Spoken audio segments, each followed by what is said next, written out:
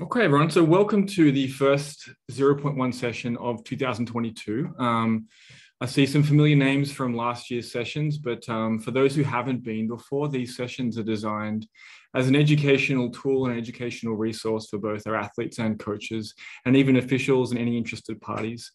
And essentially, the name 0.1 comes from the idea of very small percentages um, winning or losing competitions, as well as the small things that you do day in, day out that uh, lead to performances, whether it be good or whether it be bad. So these sessions, we have two speakers on every time. We have an athlete and then uh, an expert in their field.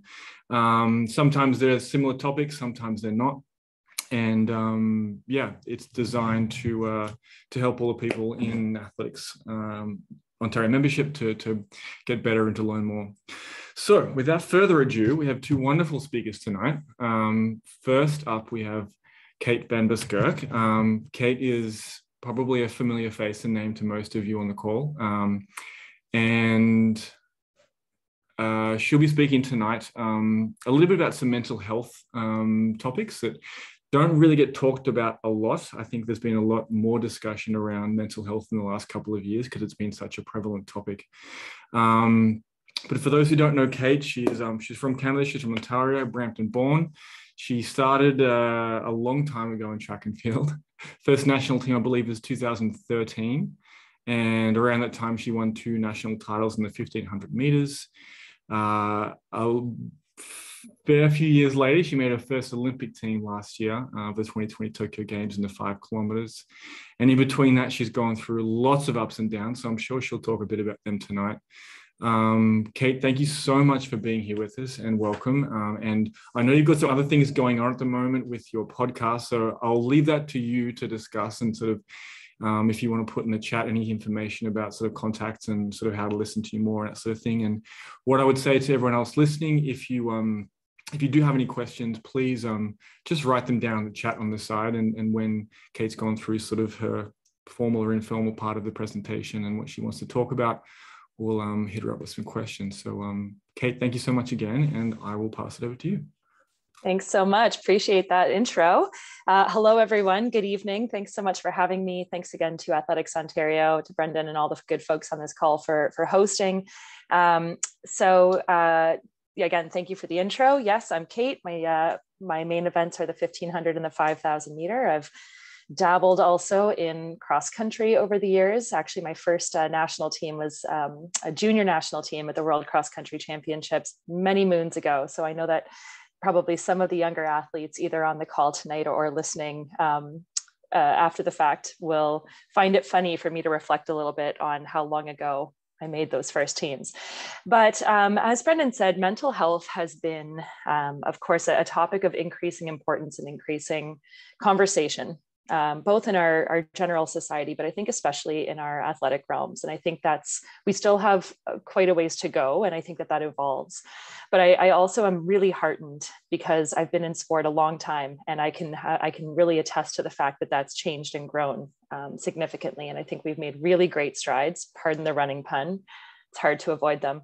Um, so I do want to talk about mental health today, but I, in, in thinking about this presentation and thinking about what I wanted to share with this audience, I started thinking about mental health and its relationship to the longevity that I've had in my running career. And so I wanted to broaden that a little bit and talk um, about, uh, and in fact, I'm going to start sharing my screen here. Just bear with me one second. I'm uh, Still getting used to figuring out how to do this. Sorry. Share screen. Here we go. All right.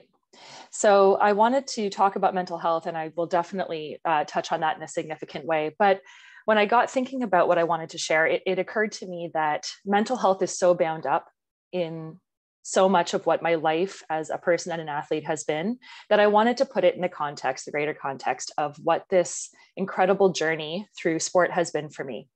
So, this is um, my 25 year Olympic pursuit and how I really maintained and, and obtained longevity in my running career. So, that's something I, I feel really strongly about, about sharing tonight with you all. So, how did I get from nine years old, track and field day, in my homemade strawberry print outfit. Can I, everyone see this, by the way? Are we good? Can you give me a thumbs up, Brendan? Yeah. Um, in my backyard at nine years old uh, with the start of an Olympic dream to finally 25 years later becoming an Olympian at 34 years old. There's a lot that has gone into this, this journey, but the four main pillars that I really want to touch on with the emphasis being on mental health, but the four pillars really are physical health, mental health, life balance, and love of the sport. And the reason I want to talk about these things is that I think uh, we often see athletes when they're succeeding and far less often we hear about them when they're struggling or when they've gone through really defining moments that are a lot less uh, full of glory and, and sort of um, overt success. And I wanted to talk about all of those things that have led to this, this long journey of mine. So I'd like to start, if you'll bear with me, by sharing some of my story with you. And this is just a little collage snapshot of uh, the, the many years that I've been in this sport. But I, I grew up in an active family. Um, my parents put my sister and I in soccer at a really young age. Uh, I was five years old when I started playing, and I was never all that good in that I didn't have any ball handling skills. I was never the one that scored the goals, but I loved running up and down the field. I had a lot of natural speed and endurance. So I would never play a position. It drove my coaches crazy. I would just cover the whole field and then pass the ball to someone who could do a lot more with it in terms of scoring. Um, also, from as young as I can remember, uh, my dad has been a marathon runner. So I had that fluence in my life growing up. And my earliest memories of my dad are that he would go out for these two hour training runs in the middle of winter. And he had a big beard at this time. And he would come home from these training runs with a beard full of icicles. And even at a really young age, I remember thinking, that's so badass that it's too cold. Like, I, am not allowed to go outside because it's so cold, but my dad's out doing two hour runs and coming back with a face full of ice. So, those were some of my early inspirations. But one of the, the pinnacle uh, young inspirations of mine was, and I'll be dating myself here, but watching the 1996 Olympics in Atlanta. Uh, I was nine years old, the same age I was in wearing those, those ribbons. And I watched Donovan Bailey cross the line in the men's 100 meter with a gold for Canada in a new world record. And I remember turning to my dad, and this was when I set my first goal in sport. And I said, Dad, someday I'm going to go to the Olympics and I'm going to win a gold medal and I'm going to beat Donovan Bailey's world record. And he said, That's nice, dear. Uh, let's try these elementary school meets first. So we did. I, I, was I had very supportive parents, but that was the, the first time I remember really setting a goal that resonated with sport. Um, so I, you know, I, I, progressed through the sport. I joined my first track club in grade six. Shout out to the Bramalea Bullets. Um, and then I ran throughout uh, middle school and joined the Mississauga Track Club in grade nine. And I continued playing soccer during this time. And I'm a big proponent of athletes participating in a lot of different sports. I think that the skills that I learned through soccer really helped me in my eventual running success. But my energy was really split. So I started to experience more success um, through high school, and I made the decision to quit soccer in, at the end of grade 10. And I realized yeah, I was involved in a lot of extracurriculars and my energy was being too split up. So I decided to focus almost entirely on running, and it really worked. So, just for some context, in, in grade 10, it was 2003, um, at the Canadian Cross Country Championships, I placed 66th, which is a great result. I had worked hard for it. I was really happy with it. But I quit soccer that year and really started focusing on running. And a year later, in 2004, I came third at those same cross country junior championships. And I made my first junior national team in grade 11. I competed at the World Cross Country Championships, uh, junior cross country championships that year.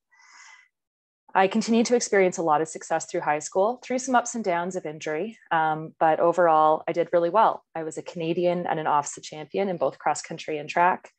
I was very fortunate to get a scholarship to Duke University in North Carolina, which is a very prestigious NCAA Division One school continued to experience some ups and downs, a few little injury issues.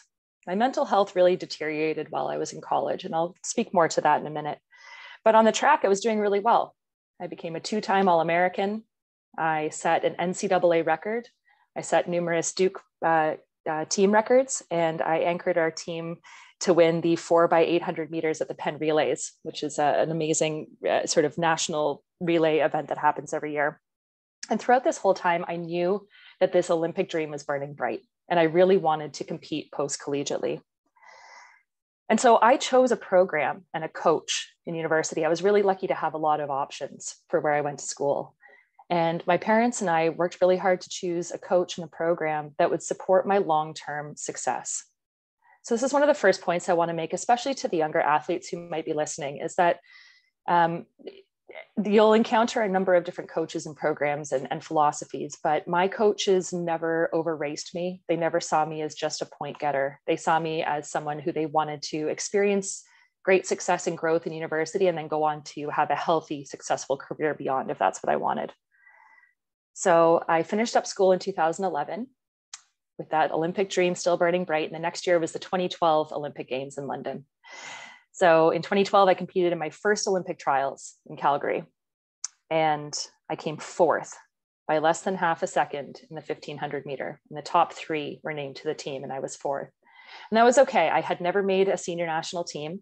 I was a little bit disappointed, but I used that disappointment and that motivation to fuel me. And I had a, couple great years of success after that. I was I won my first Canadian senior championship in 2013 and made my first world championship team. I won nationals again in 2014. And that year I won my first and only international medal at the Commonwealth Games in the 1500 meter. And it was a, a really exciting time. And I was feeling really positive about 2016. And in 2015, I started experiencing a lot of injury issues, and we couldn't really figure out what was going on. The fall of 2015, I moved out to Victoria, British Columbia to train with our national uh, training center out there. And my health deteriorated really quickly, both my physical and my mental health.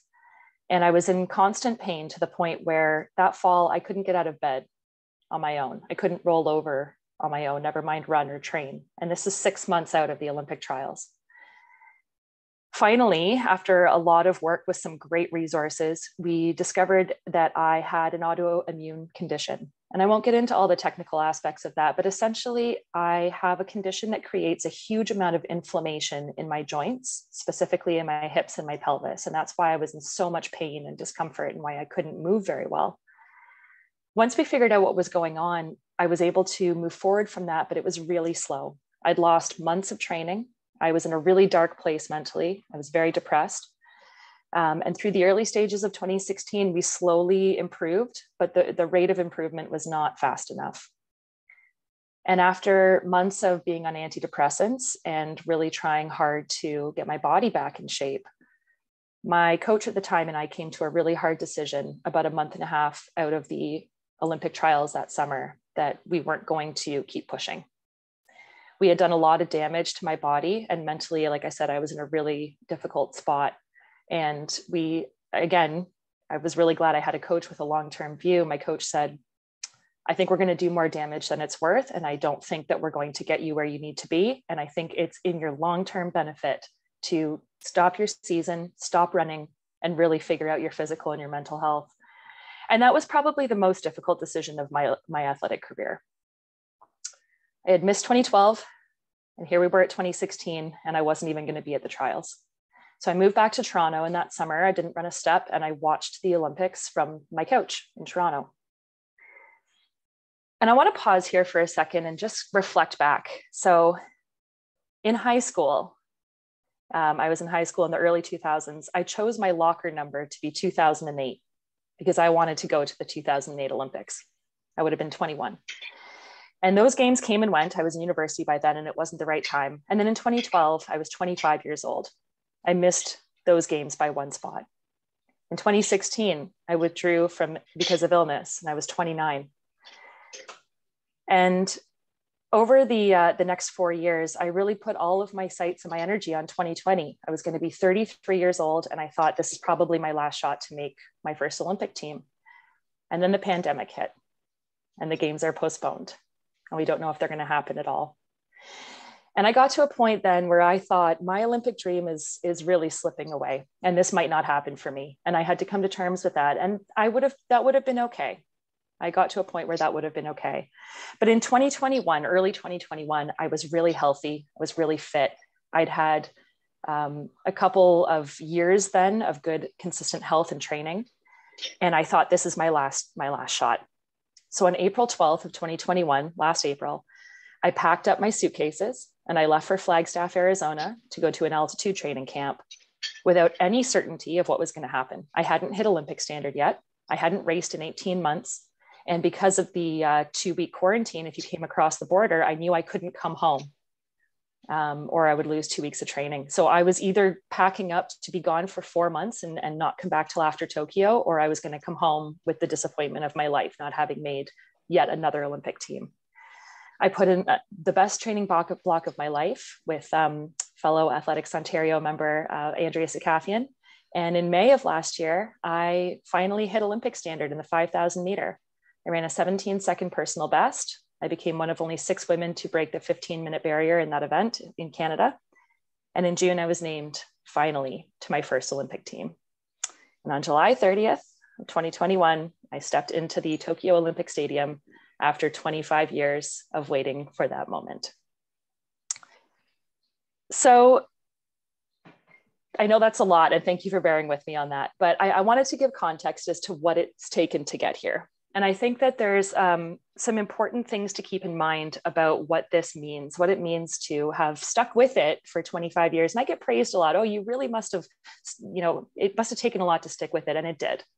Um, I'll also say that I am very fortunate. I have some great support systems in my life. I have a really supportive family. I've had great coaches, and I've had the means to be able to make this work. Um, and, and I know that everyone's journey is a little bit different. So this is just my experience.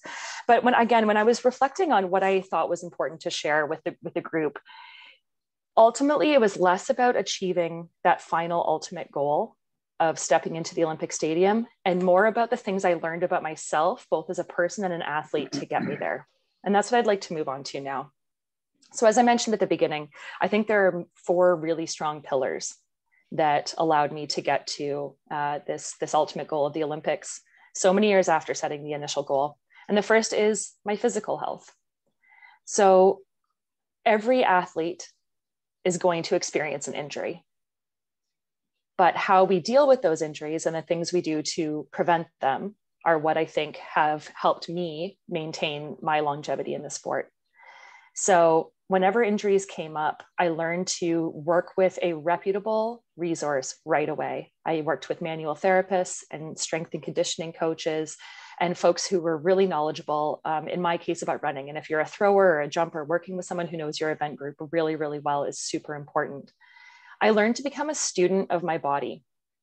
And what I mean by that is, I didn't go to school for human anatomy um, or any kind of science, but I learned to understand my systems, my circulatory system, and my lymphatic system, and my musculoskeletal system, because I wanted to be as empowered as I could be as an athlete to not only understand what it felt like when things went wrong, but also to get on that right away. And the caveat to, or the the uh, the slash there is pain versus discomfort. I think it's really important to understand that as athletes, if we want to achieve, we need to put ourselves through some physical discomfort. But as soon as that crosses over into pain, that's your body and your mind's way of saying something's wrong. We need to pull back or make a change. And I, I really learned the difference between pain and discomfort. And the third piece there with injury management and prevent, prevention is that rest is part of training, not separate from it. I had a, a, an American Olympian friend who said the best thing I did for my running was not run more, but sleep more. So that rest piece is really, really important. And it's counterintuitive to those of us, especially I think who are really driven. And we think about, you know, that saying pain is weakness leaving the body. I can't stand that. Um, but, but similar to that is that we really need to see rest as part of training, not separate from it. This next one is a big one and it's tough, but, um, and I struggled with this a lot and it's part of mental health as well. But developing positive body image and your approach to fueling. Food is your fuel and it's what allows you to not only recover but excel. And it took me a long time to to work on this. And i again i had some great mental health resources which i'll get to in a moment. But uh, in some ways i was lucky. When i was younger growing up and potentially a little more easily influenced than i am now i didn't have social media so i didn't have this issue. But i want to remind everyone that social media isn't real life. What you see on Instagram images are altered and people present the best sides of themselves don't compare yourself to others. what you see on the on, on the internet is not uh, what you should be comparing yourself to um, and, and the flip side of that is, is trusting in science. I think one of the things that um, is really detrimental, especially to our young female athletes, although it applies to, to everyone, is that um, we often see images of athletes when they're at their peak performance at the on the Olympic stage, at the World Championship stage. And when you see those images, we have um, worked very closely with physiologists and nutritionists and dietitians to get our body composition to be a certain way. And we maintain that in a very calculated and highly monitored way for about four weeks of the year, which means the other 11 months of the year, we don't look the way we do on those start lines, nor should we, because it's not sustainable. Um, and it's it's it's completely unhealthy so um, I, that's something I've really worked on, and I'm I'm an advocate for because I think that everybody is different, every need is different. But if we're trying to be, you know, highly tuned, fast race cars, then we need good fuel and we need a lot of it because we're burning through it. And lastly, there is that long-term approach to training and development. Um, so again, I had coaches that helped me with this. It was so hard for me to pull myself out of the 2016 Olympic trials, but I had a coach really give me good advice and say, we can't take shortcuts we can't put your body and mind in a place that's too fragile and it's going to it's going to burn you out and you might not have a future in this sport. And i'm so glad it sounds weird i'm so glad that it took me another five years to make my first olympic team because i don't think that i would have had this longevity had i tried to push through that. Be patient and trust the process and work with coaches who support that. So the next one is the mental health and again i feel like mental health is an umbrella that has really um, sort of overarched my whole experience in sport and in life. And I will say there that life and sport are not separate. There are separate elements to it, and there's there's some there's some piece of separation that's important. But really, what we experience in our daily lives can't help but influence who we are as athletes and our success or our shortcomings or our injuries and things like that. So I dealt, I've dealt with, I have dealt and continue to deal with anxiety and depression throughout my life. Um, and those things have gotten far more manageable for me. I feel a lot better on a regular basis than I did when I was younger. Um, and again, I think kudos to um, Athletics Ontario and many of our sports systems for encouraging open conversations and dialogue about mental health because it's something that needs to be talked about more and destigmatized. But I sought out a lot of resources to help manage that. So I was in talk therapy for a long time. Um, I won't get into all the uh, specifics of this because it's quite technical, but I have over the last year done something called neurofeedback training, which frankly I think is one of the key pillars to how I got to the Olympics, especially during the anxiety of the pandemic and I will, after we're done, link um, an episode of the Shakeout podcast, which I host and produce, where I actually had a really frank conversation with my therapist about what neurofeedback training is. So you can feel free to check that out. I've also worked with sports psychologists. Um, who you know really help with the sport specific side of, the, of mental training so working on things like positive visualization race day prep and nerve management no matter how often you do it, stepping into a 50,000 person stadium and toeing a line and trying to be calm in that moment doesn't come naturally to any of us. So working with resources who can um, help you with those things is has been really, really um, helpful for me. And then I wrote vulnerability there because I think, again, we need to continue pushing these conversations with our friends, with our families, being open as much as we can, finding people who will listen to us and be positive uh, resources and sounding boards so that we can really be honest about what our needs are um, and find those who can support us through those needs. Again, I can't stress it enough. Mental health is physical health, is spiritual health, and I think it's, it's one of the pillars to performance. Kind of along those lines, life balance is something that I've learned to um, appreciate more as I've gotten older. But I do a lot of things outside of sport. I have been in school, I work multiple jobs. Um, I've really worked on my relationships and I've done a lot of sports system involvement. So I'm on the board with Athletics Canada. I do some coaching, I do some broadcast work within sport media. So those things really have not, not only helped me avoid burnout, but have given me structure and purpose when running isn't going well like I said, injury and illness and setbacks are inevitable. They're going to happen. How we deal with them is really important, and minimizing them is also super important. But when they come up, when your identity, and I've been on this end of the spectrum too, is fully bound up in your sport, it's really hard to um, see yourself as a as a complete human and, and see your way out of those dark moments if you don't have other things that fulfill you. And the flip side of that is that having those things in my life helps me know when to narrow my focus onto my sport. So just like I said, there's there's about a four week period of the year where I'm really really um, kind of highly tuned physically um, and have a, a, you know a certain body composition and things like that. I'm also pretty strict about my lifestyle. And maybe those other things take a back seat because sport is is the pinnacle. It's the most important thing in those moments. But then outside of that if i'm in a rest period or if you take an off season having those things to go back to can provide uh, some really helpful balance that i believe has led to my longevity and finally i've left the most cliche slide for the last but I think it is the most important. You got to love the sport. Now, that doesn't mean you have to love every aspect of it. I used to hate strength training. I've learned to love it. I don't know what the flip was, but I used to absolutely hate strength training. I used to hate stretching. It just felt like such a waste of time. So I, but I did it. I did those things because I knew that they were going to help me make me better. But I didn't love them. It doesn't mean you have to love every moment of it you will have good days and bad days. But I think what the pandemic taught us, especially, is you have to figure out what you love about your sport and find ways to incorporate, the, incorporate those elements that you love as much as possible. I really like going for some solo runs. I like throwing on a podcast or, you know, just getting out by myself. But I also have found that if I try to do all my runs by myself, my motivation drops like crazy. So um, finding even just, you know, when it was safe with public health guidelines to find one person to go out for a run with on a regular basis made the time go by faster. It was so much more enjoyable. I was more motivated. So I tried to find the things that I really love about sport and use those as much as possible. Progress is just a reminder progress is not linear. We like to think that we go straight up, or maybe we go up and plateau and then go up again. Often it's not like that. You might plateau for a really long time. I didn't PB for four years.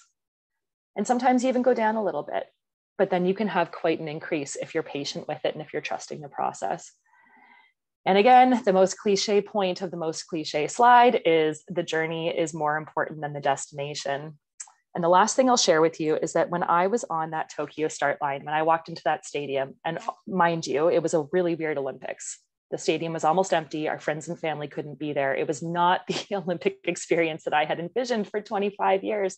It was still an amazing experience. But what I realized was that I had spent two and a half decades preparing for this one moment on the global stage. And while it was amazing, what was far more important was that the Olympics were the goal that got me to learn more about myself and become a better version of myself again as an athlete and a person that I think could have been possible without that long term pursuit of a singular goal. I've traveled to over 30 countries. I've met people from all over the world. I've pushed myself through barriers that I didn't think were possible. I've learned leadership skills. I've developed lifelong friendships. Almost all of my work is related to my sport. Um, I've gained the, all the confidence that I have because of that. And I've learned to um, really approach my physical and my, my, mental health in different ways that are uh, that have been life changing. So um, it doesn't matter if your end goal is the Olympics or making it to OFSAA or you know throwing a personal best. Um, it, whatever your end goal is, is your own. But my encouragement to you is use that goal to fuel you day in and day out to do the things in your life that make you feel good and make you feel successful, whatever that means to you and however you define that. And if you do want to get in touch, please feel free to reach out um, K8VBeast on Instagram and Twitter. And you can feel free to email me as well. And like I said, I'll drop um, the link to the podcast, the Shakeout podcast with Canadian Running Magazine in the group chat. But um, thank you so much for listening. And if there are any questions, I'd be more than happy to answer those now. Uh, thanks so much, Kate. Gosh, that was great. I um, hopefully we'll have some uh, some questions come through in the chat. But whilst we wait for that, I thought I'd sort of touch on a couple of things that you mentioned um, throughout the presentation. Um, one thing that I'm really curious about, especially me coming from Australia and moving around quite a lot and, and traveling quite a lot for, for athletics, but you you had a lot of changes. So you know you went out you went out west um, to to Vancouver, and then you went down to Duke, and then you came back. There was a lot of shifts and changes. And you mentioned that sort of period. I think it was after your first year at Duke when you really started to get quite down on yourself, and it was a really sort of troubling time. Mm-hmm. I wonder how those big transitions, because I know there's a lot of athletes, and you know, I think the gold standard for you know a 16 year old here in in in Canada is to like get good enough to go down, do what you did in the states, right? And when I've seen athletes sort of do that in different contexts, sometimes they, they just love it. It's fantastic, you know. It's just, but it's so different the energy is different the expectation is different the people are different the coaches are different um, yeah I, wonder how your experience was with that and, and, whether you see any kind of i don't know relationship between big transition big life transitions and how your headspace was and how you felt about yourself and, and your mental health that's a great question thank you for asking that um, my perspective on big change because as you said i've been through a lot of it is that i think that there are great growth opportunities through big change. And there is also always um, somewhat of a risk, and I think it changes depending on the context, but somewhat of a risk that um, you can get away from your support system or from what feels familiar and comfortable. Um, and I think that that's probably a very individual question. I think for me, I if I can reflect back, for instance, I'm really glad that I went to Duke. I'm glad that I um, took that that risk. And my, like I said, my Duke experience wasn't um, peachy from start to finish. Uh, I, I should have mentioned this in the mental health presentation part, but there were, if I'm being frank, there were you know days where I couldn't. In 2016, I couldn't get out of bed because of my physical health. Um, there were days at Duke when I couldn't get out of bed because of my mental health, and here I was on scholarship um, at a very prestigious university. Um, and, you know, I was captain of the team and I had a lot of expectation riding on me. And I had so much shame because of that, that my mental health deteriorated significantly during periods of the time I was there that being said, um, that wasn't my whole experience, and I was able to seek some some resources on campus. And then I'll go back again to my coach and my program. I'm I'm so glad that I was with the the supportive team that I had because they really I think were ahead of the curve. What is that now? 15 years ago, um, with with mental health. So um, I, I don't i wouldn't say i regret any of the decisions i made with those changes i think that you can't always see the progress and the growth and the learning while it's happening. And maybe that's a little bit of a takeaway here is that sometimes you have to experience it's kind of like that discomfort versus pain physically. I think sometimes we have to experience friction in order to grow and to get better but you can't always appreciate it for that in the moment. And i would say if you're in, in, a, in an uncomfortable situation with a big change or a, a big move stick with that um, discomfort. Sorry is that me beeping stick with that discomfort stick it out for a little while give it a shot maybe try some some different things um, to see if you can maybe alleviate some of that friction. But if it starts becoming painful and i mean p- pain is harder to quantify i think when it's um, from a mental health perspective but if something is really really causing you distress and not working and i'll give you an example i ended up taking two separate mental health leaves leaves of absence from from my duke experience. So i was there for five years instead of four because I recognized that I needed two different semesters off. Um, and that's something that I didn't talk about for a long time because I felt a lot of shame about that. I thought it was my fault. But I also realized I think I had enough intuition and again, a very supportive family structure to help me understand that I needed a break. And I was then, I then was able to build up the fortitude and the courage to go back and try it again. And I was better equipped then with different tools and, and experiences. But I'm really glad I took those breaks so I, I would encourage you if you're going through a big transition or a big change and you have some excitement about it and you've prepared well for it, but you feel a little bit of that discomfort, stick with it for a while. And if it ends up becoming painful or unbearable or um, you know it's not right intuitively, I would say maybe you know make make another change either back to what is familiar or something that feels more supportive. A yeah, really, really good answer. Yeah, thank you. Um, Mark had a good question. He uh, Fantastic presentation, Kate. Um, how would you convince teenage athletes to set their focus on longer term when their four school seasons can set them so short term in terms of their mindset, um, especially in light of what you just mentioned?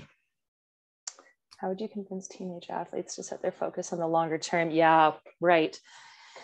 that's another great question. And I think that um, I can't speak as much to the field events, but certainly one of the challenges as a runner is that we're, we don't have an off season. You're, you're, you're a three season athlete. You're a year round competitor. I mean, especially when I was um, in the university system, our training camp started in early August then we raced all cross country till December. We got a two week break. We raced all indoors till March. We got a two week break. And then we raced all outdoors. And then I came home and ran the Ontario club system through the summer. So it is really hard. Um, I think that convincing younger athletes to do that uh, comes comes often from this is why i felt it was important to share this presentation because i think that when you see adult athletes who are experiencing success and have been in the sport for a long time and not only been successful, but also really enjoyed that. Those are the lessons and the mentorship side um, that I think is really important to impart. I think that coaches play a big role in this too. And I think that coaches often, when they have highly motivated, highly successful, high achieving athletes, which many runners are, um, sometimes a coach's job, sometimes their only job is pull the reins back on your athlete so I think it, um, if an athlete's really gung ho to get out there and race every weekend or, or, have a full season, I mean, my coach preemptively redshirted, and that means giving you a, a, season off where you can get that competitive season back at the end of your career. But he intentionally would redshirt the freshman cross country athletes so that they had the first full semester to come into the team, train with the team, do all the training, but they didn't race and that was so that they could get their feet under them. I mean i was coming from another country. This is a time before cell phones you know it was a huge adjustment. Um, and i was i really appreciated that. I appreciated that he intentionally redshirted athletes because he had the intuition to see ahead and say you're going to get burnt out and that's not going to be healthy for you. Um, so i think it's it's it's a multi-prong approach i would say but i would really encourage parents and coaches if they notice that high achieving aspect in their athletes and their kids encourage them to pull back a little bit and um, and use that long-term goal to motivate them to be i want to be really good when i'm 25 i also want to be really good when i'm 15 but i need to get there incrementally. I hope that answers the question. Yes thank you very much. Sure thing mark. Um, you mentioned before kate uh, you, your term was letting go um, and it was around sort of uh, the I think the 2016 games um, that you did made the decision the, the really tough decision to pull out of, and I mean most athletes that are even trying to get to a trials, let alone Olympic games, are really driven in what they do, and we have to be really driven as athletes to do that. Can you speak a little bit more to maybe you know that experience of, of letting go in that environment, but also other times where you know maybe it just didn't feel right, whether it was a mental thing or a physical thing, but because I feel like it's a really important skill for an athlete to have is to just step back and, and let things go. And I think the red shirting example is a good sort of forethought to that. But I'd love to hear more on that experience and maybe others that you've had through your career. Sure. Yeah. And I'll, I'll equate that back again to kind of becoming a student of your body. Like I said, in, in the physical health piece, I think that equally to that, or possibly more important, is um, becoming a student of, of what feels right and, and learning to trust your intuition.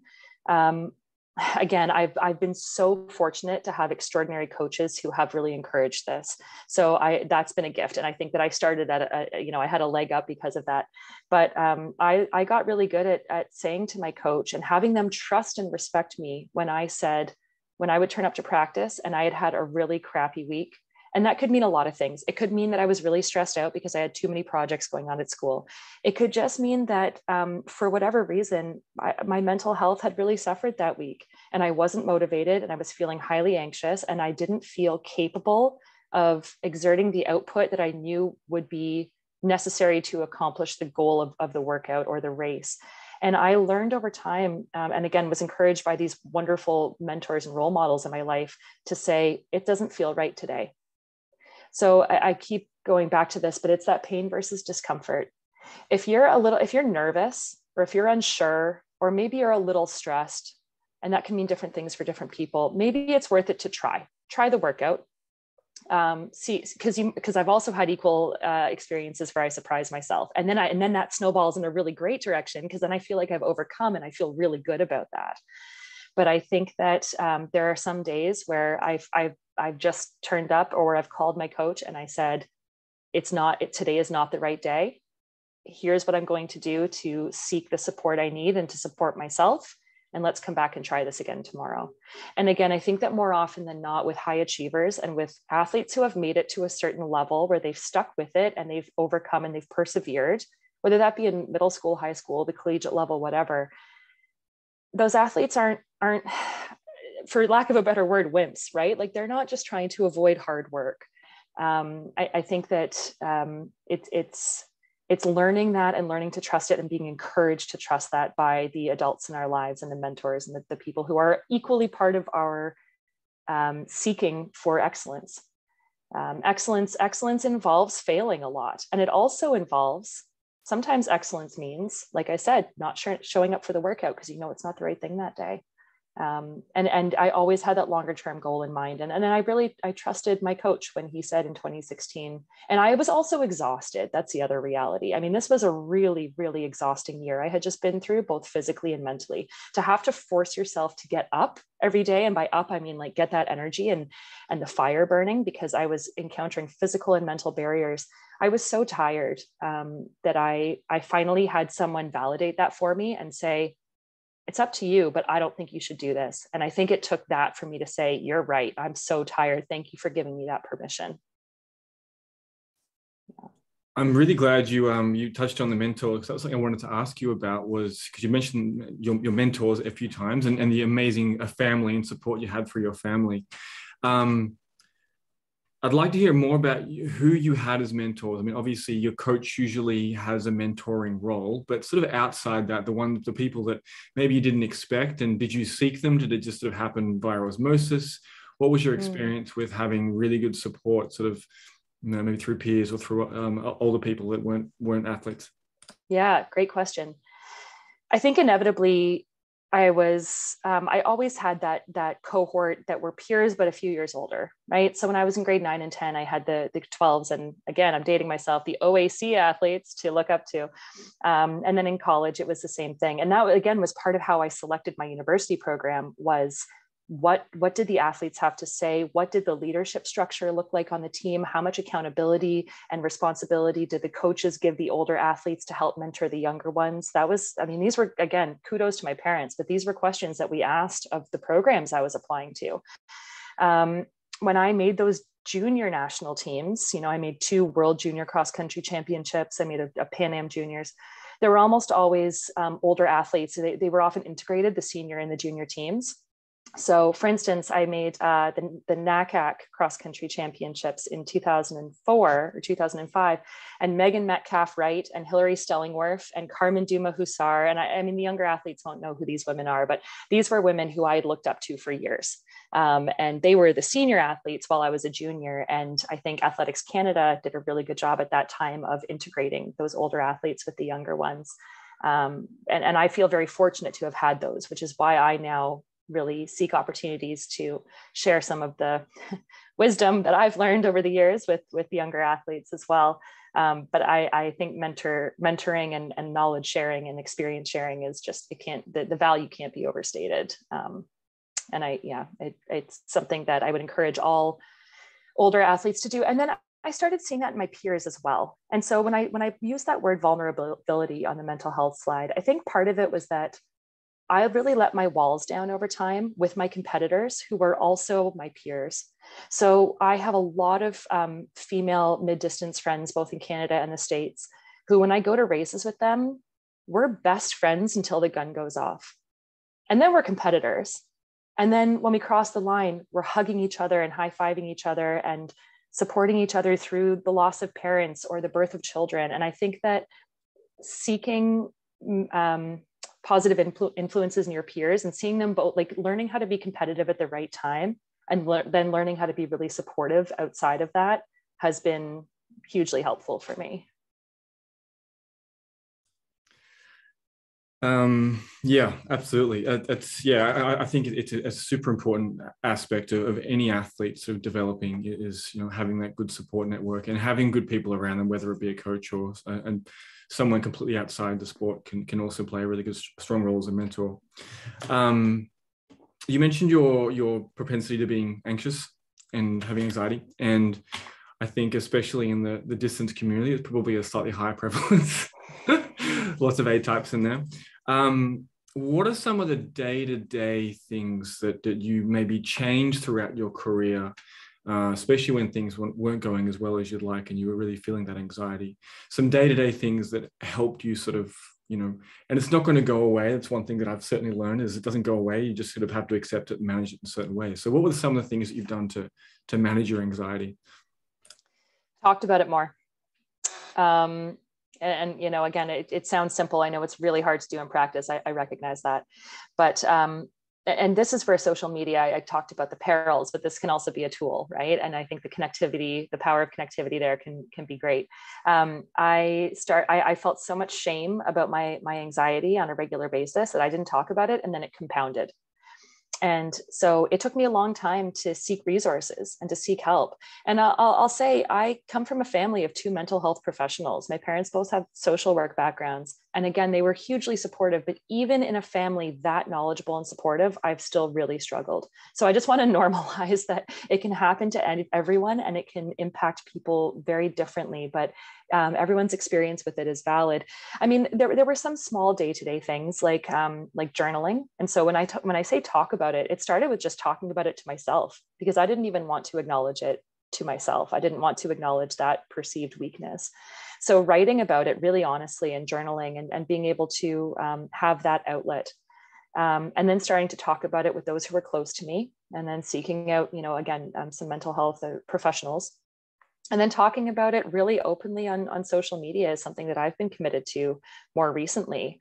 Um, and, and acknowledging that those things will ebb and flow, but that they're not invalidating. Um, and that they, the more we talk about it, the more we see the commonality and the more we can be supportive of one another. But, but journaling, um, doing some meditative practices, um, a lot of, a lot of uh, sleep work so um, making sure that I'm not on a screen before bedtime. Um, I, I, listen to um, like frequency music. You can look it up on YouTube, but it it kind of taps into different frequencies in your brain and it helps bring your nervous system down. Um, one thing I will say quickly about the neurofeedback training that I did is that the concept of neurofeedback training ultimately is that it helps tap into the nervous system to teach it how to be on when it needs to be on and off when it needs to be off. And what I realized ultimately was that my anxiety on a regular basis had so much to do with my nervous system just being jacked up all the time, which then had a parallel physical effect of not recovering. And the more that I can learn to bring that recovery down um, in tandem physically and mentally through some of this uh, uh, yeah this nervous system work it just it made a huge difference for me. Um, there are some physical things. Again if you want to reach out to me i've got there's some foam roller techniques where you can lie on the foam roller and tap into some different parts of the body that will create sort of a relaxation effect. But um, i would say talking about it and then doing the neurofeedback training were the, the two biggest things that really helped me and just and being non-judgmental hardest thing to do but just saying okay i'm feeling anxious or i'm having a rough week. And that's i i, I want i want to be solution oriented about this but that doesn't make me lesser. And it, it's just part of my reality right now. So let's find a way to be supportive with it you've just opened a, a, box of things that I could talk about with you for probably another two hours. Um, and uh, I'm really glad you mentioned journaling because it, it, was one of my things I was going to ask you about. And, and certainly with the athletes that I've worked with and myself included, um, journaling was such an important part of, of the process. And yeah, sometimes you don't want to, but sometimes they're the best days to do that kind of thing you know, if anyone wants to start journaling um, in a more sort of touchy feely way and it feels uncomfortable, one thing that really helped me as a, as a starting point was I keep a training log and it's pretty numbers based, right? So I write down either how many minutes or how many kilometers I ran that day. If I did a workout, I write down all the intervals I did. Um, I write down how many hours I slept that day and if I had treatment and if I going to say it if I got my period. I mean, these things are all really important to track. But I started writing down some of the feeling statements into my training journal because that felt like a natural way to see the physical and the mental as being supportive of each other. So I started with a really simple technique of every day in my training log, I would write down either a smiley face, a frowny face, or like a neutral face, like with a straight line. And that was the first step and then from there it built into let me put down some feelings that were associated with that or what else was going on in my life that day that might have contributed to it? But i think that if if you're looking to start journaling and you don't know where to start or it feels overwhelming build it into a simple training log and, and see where it goes from there and see what feels comfortable that's a, yeah a great point. I think that it marries what you mentioned earlier on about um, you being you as an athlete and that being separate from you as a person. And I mm-hmm. think that that does tend to bridge the gap a little bit and make you more of a complete human. Um, totally. All right, I'll, I'll, give you one que- one more question. This is a great question from Sahid. Um, uh, if you go back and speak to a younger Kate, or let's let's just say a younger, you know, you that's coming through the ranks at the moment, anyone who's younger than you, who's maybe going through some of the things you did, um, what uh, what's one piece of advice you would share with with you or with them? Oh, Sahid, you're killing me. That's a big one. Um, I only mean, one, so, only one. yeah, yeah, only one. Just just choose the, the, the most poignant one. That that's that's that's a very difficult question. Thank you for that challenge. Mm. I, I would say I would I, I wish I had started trusting myself earlier. I think and it goes back to this holistic approach to my, my athletics that I mentioned before. I wish I had learned to listen to the little tweaks in my body that I knew weren't quite right and get on them right away in terms of, oh, I, I really need to, you know, pay more attention with my trigger point ball to that specific calf area. Or um, I need to trust my trust that the training is going to build and pay off in this race. Or I, I need to trust that when I tell when i'm not when i'm feeling off about something i need to listen to that or when i'm when i'm feeling like it's time to really surge in this workout or this race that I, I can do that. Some of those things you, you can't help but develop over time, right? But it's trial and error. And I think I wish I had taken some more of those small trial and error risks when I was younger um, to develop that intuition at a slightly younger age and really learn to trust myself. I've, I've learned to trust myself really well now as, as an adult in my mid 30s. But um, there's a lot of noise out there. There's a lot of ways to, you know, if, if coaching were simple and there were only three training plans for everyone, we would have figured it out by now. But every athlete is different and every individual is different.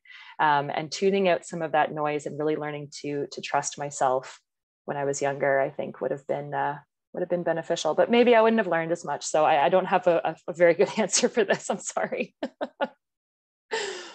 Oh, a lovely, a lovely point to finish on. Um, Kate, thank you so much. Um, you're, thank you. you're such a, a, wonderful force in the community here, and you do so much for the athletes. And, uh, and I mean, you're still competing, but you you're doing what you said you were going to do, which is start giving back. And you definitely have been doing that for a long time. So thank you for that. Thank you for joining us tonight, and thank you for talking about I think sometimes an uncomfortable subject. So really appreciate you being on.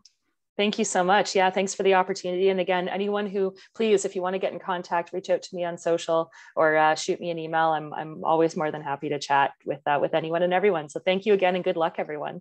Awesome. And don't forget to have, put any, any more stuff on the uh, in the chat there of your, your contacts. I know so he put the, uh, the podcast link there, but anything else, please please put in there for Great. And I'm so sorry, I have another talk to get to, so I'm going to have to jump off. But I promise I'll I'll watch the second half of this presentation afterwards. No worries. Uh, again, appreciate it, and and good luck, everyone. Thanks so much for having me. Awesome, thank you, Kate. Okay, we are going to shift things up a little bit. Uh, we've got our next speaker coming in. Um, so Natasha McLaughlin Chaisson, I think that's right for your surname. Yes, that's right. Yes, nailed it. Um, so Natasha comes from us from New, New, Brunswick, and she is the owner of NMC Nutrition. She's a nutritionist.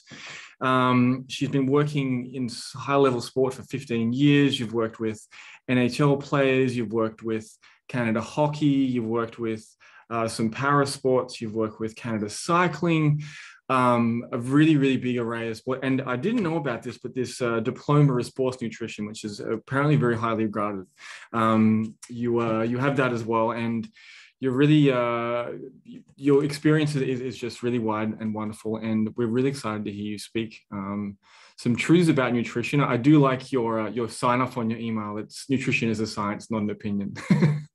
and it is, it is. So, so thank you so we'll much. cover some of those things tonight, and I will uh, I'll pass it over to you. So thank you so much, Natasha. I appreciate uh, being here, Brandon, and, and I want to thank Kate too. It, it was just great listening. Uh, I don't know if she's still on there, but uh, listening to her speak, and it's just uh, speaking you know, from experience. And I think so many athletes could benefit from hearing her talk. She just talks so well as well. And uh, yeah, it was really, really good uh, session. So I'm going to do a quick screen share here. And I want to tell you all, I apologize in advance. I want to be transparent, but I may move a bit. I had, I've been given, uh, a quick reschedule from uh, I was supposed to get PRP injections two months ago, and then because of COVID, they'd been rescheduled, and so I got them just recently, and so I'm in quite a bit of pain. So I might have to move around. They're um, plasma-rich uh, platelets in my back uh, and in my hips, but uh, yeah, I might I might move around a bit, but otherwise uh, I should be good to go. So let me do a screen share here. There we are.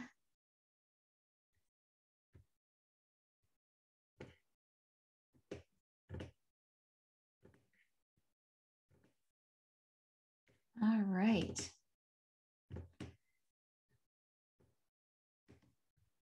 So first thing um, I would like to do is just know who we have here in terms of sports and disciplines. So if, if um, that could be, I don't even know if I'd be able to see the chat box, maybe in the group chat, uh, y'all can share the groups, uh, the, the, the disciplines and the sports. I know this will be watched later on as well, but um, just out of curiosity, if we've got representation from from every discipline, um, you know, coach, athlete, uh, even parents participating, just so I could get a good feel.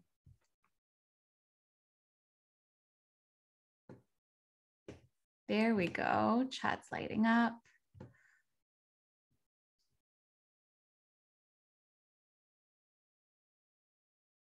coach and athlete track. Okay, sprinter. Wonderful. Welcome. Official. Wonderful. We've got some officials. That's fantastic. Middle distance university. Okay.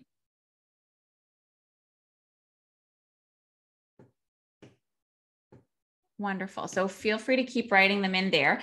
Um, like I said, uh, my focus is really to personalize this session too. We're going to talk about sports nutrition. Uh, we've clearly got a good array of uh, athletes here from different disciplines, um, but also from officials to coaches to athletes. Parasprinter, Hudson Parasprinter, wonderful. Uh, thank you, Hudson. So, um, what I want us to focus on is I want you to really make this session your own. Okay. I want you to ask as many questions as you need to to make this session valuable to you. I don't want you to feel like if you've lost an hour of your lives, your your your time is so valuable and limited as athletes.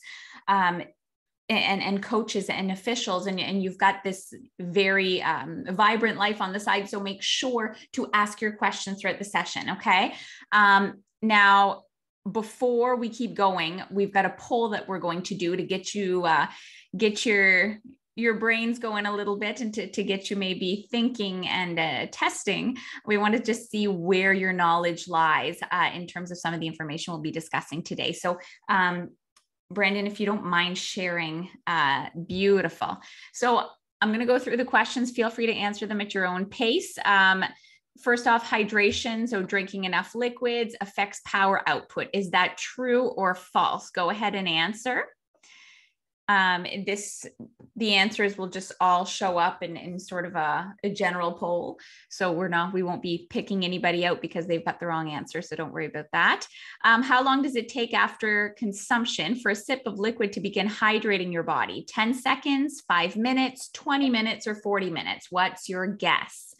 Uh, the next question what is the best fuel to consume one hour before training session so these are examples of what you could consume. I'm wondering what you think the best option would be. Would it be eggs and bacon? Would it be just protein powder, maybe mixed in water? Uh, would that be toast and jam or peanut butter? Um, and oh, banana. That should be banana. My apologies, but peanut butter and banana sandwich. Um, the next question you should eat your recovery meal within how many minutes after training? Five minutes, 20 minutes, one hour, two hours.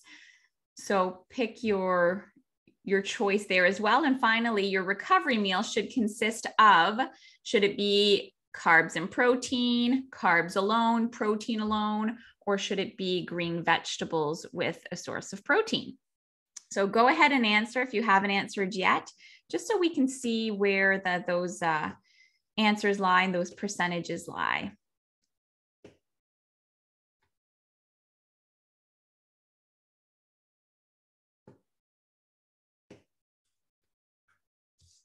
Okay, we've got three more to answer. Beautiful.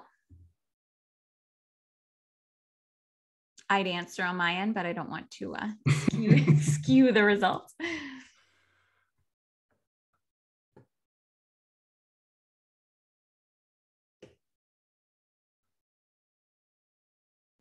Think I think we have everyone who's going to answer answered. Okay, I'll I'll, I'll end. Oh no, last one's just come through. Okay, I'll, I'll end up. Oh no, here we go. Okay. so you didn't So- answer obviously, so I think we're everyone's answered now. Beautiful. So if you don't mind maybe sharing, uh, there we go. So good job for number one. Everyone got it right. Beautiful to see. Uh, number two, how long does it take after consumption for sip of liquid to begin hydrating the body? Very interesting that there's so much variety in answers here. The answer is actually 40 to 60 minutes. So we're going to talk about this in the session as well. But if you're going into a practice or, or a training session, and you are starting to drink liquid at that time or on the drive there depending on how you know how long the drive there is um, it may be too late for you to benefit from that hydration if you are dehydrated at that time so we will touch base on that again uh, the best fuel to consume an hour before training so we'll go through that as well but the answer here would have been the peanut butter plus banana sandwich okay so the peanut butter and banana sandwich so that we are getting some carbs and protein, but we're not getting excessive amounts of protein. I'll talk about that in the session as well. Okay.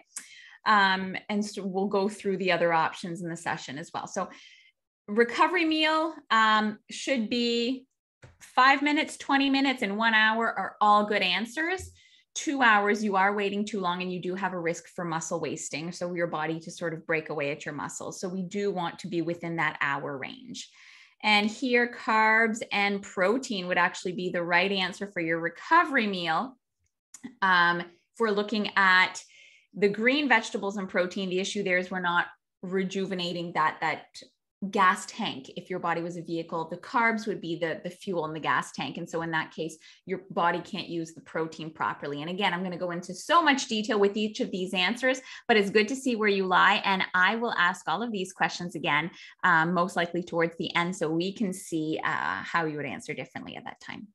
So just to mention um, i did uh, I am francophone, so I did study at Université de Moncton for my bachelor's degree before I did my specialization through the International Olympic Committee, uh, my two-year specialization. So if anyone's more comfortable asking their questions in French, vous pouvez poser vos questions en français aussi. All right, so um, there's my my quote that I think uh, Brendan and I both uh, agree on that nutrition is a science, not an opinion, um, or my motto, I should say, or whatever whatever that that word is in English. Um, it's about training smart today. So I want to teach you all how to get the most out of your training.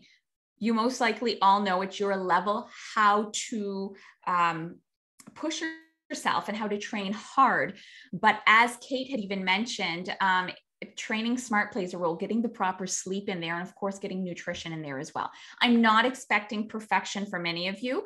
Um, and so as i've seen obviously and as i know uh, with these types of endurance sports individual sports athletics in general a lot of perfectionists it does not have to be black and white with nutrition. All foods fit. We're talking about food that are everyday foods and the sometimes foods and the sometimes foods i'll often call it food for the soul as well right? Because we've got to remember that there is the fueling component but there's also that um, emotional component the component of the, the, food we grew up on or the food that um, we enjoy sharing with friends and family. So getting that type of food in there as well is not uh, not something that i'm going to be telling you to focus on eliminating completely okay? We really got to get that um, out of our mind that black and white with good food and bad food that doesn't exist okay? We're not going to call it a cheat there's nothing negative about it um, but we're going to talk about how you should be eating about you know closer to your training sessions about 90% of the time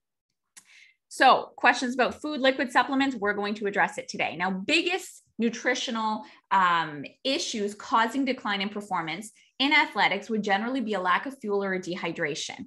And because you're training year round, because um, you are not getting much recovery time from day to day, this can cause issues. And so there was a 2018 study done on the knowledge of athletic trainers, collegiate athletic trainers about relative energy deficiency in sport. And what was really interesting was that only about 33% of participants were aware of what REDS actually is. So, does anyone want to write in that chat box if you know what REDS is, um, rel- what it, you know, what it means, relative energy deficiency in sport, or what the definition is?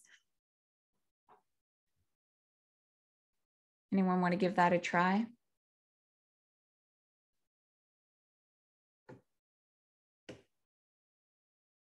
Oh. Beautiful. Not having enough calories. That's pretty much it. So um, if we look here, what it is, is, oh, there we go.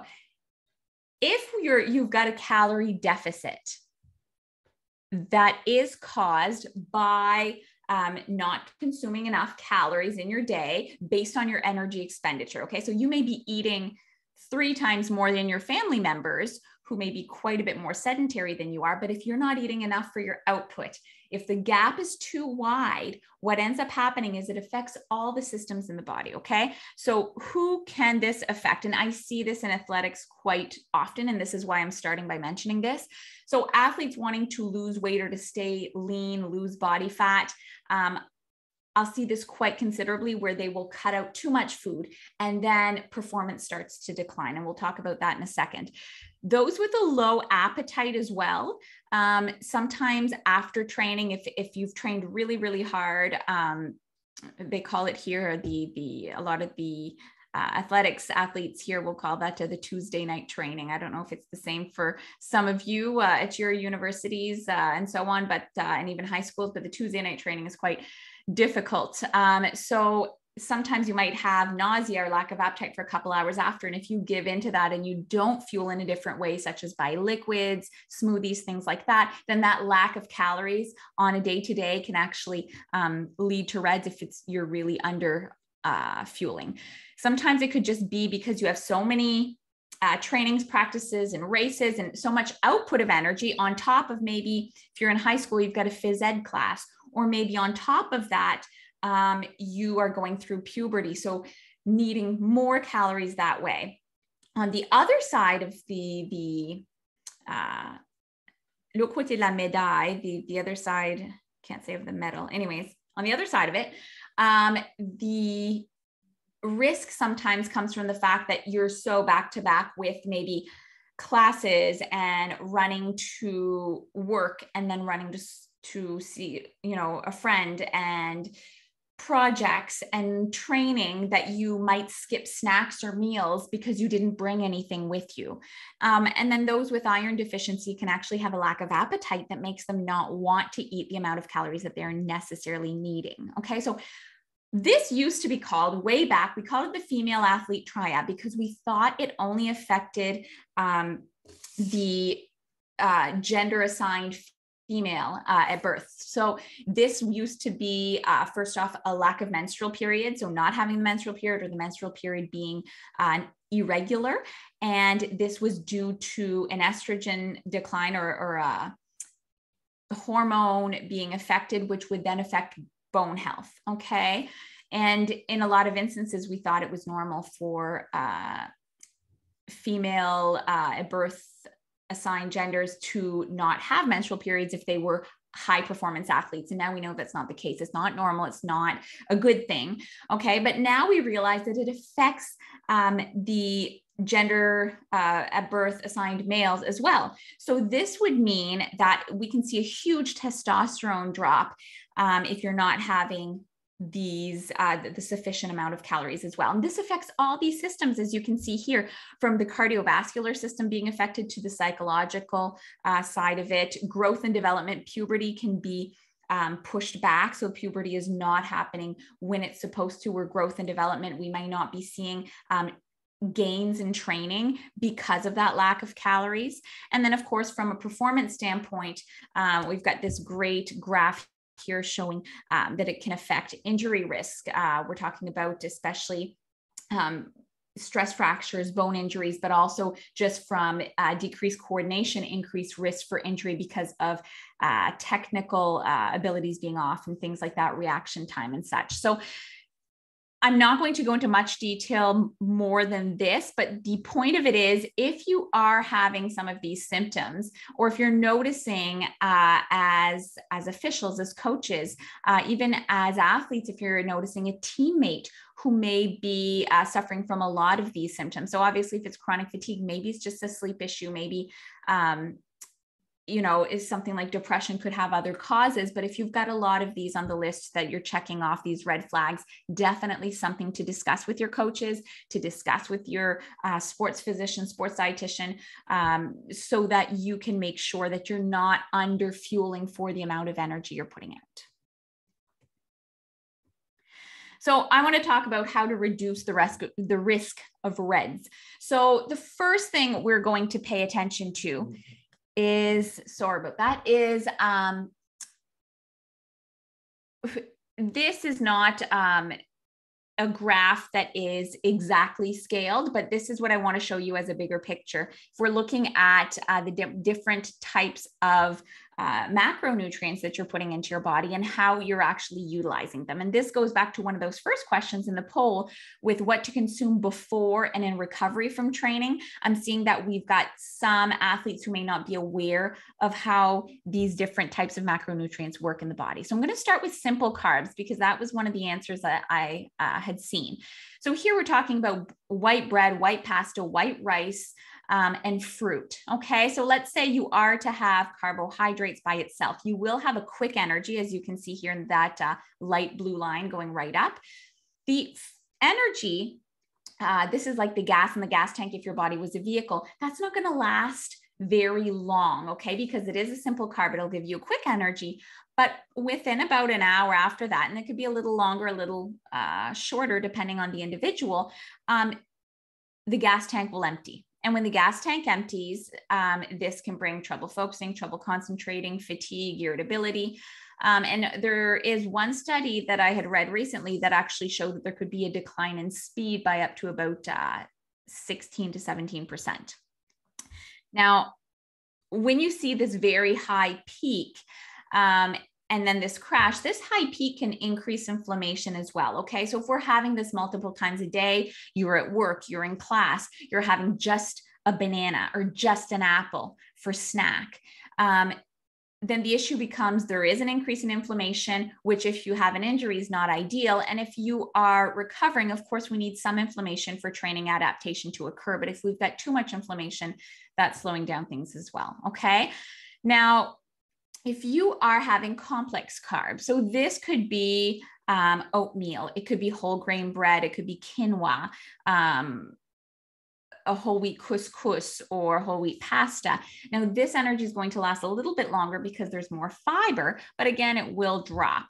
Now, when we've got the protein and fat, let's think of cheese or, or, or, nuts. There's both protein and fat in there. As you can see, it takes a little longer before you have access to that fuel. And that fuel is not going to give you as high of um, a performance ability. Okay, if you're fueling only with that. So the performance sort of peak is not as high. And in athletics, we're looking for a quick fuel. We're looking for a high intensity uh, fuel or higher intensity than if you were doing, let's say, um, a hiking where you might be more of a zone one zone, mostly zone two, um, and maybe fueling a little bit more on fat. So, what is the ideal combination?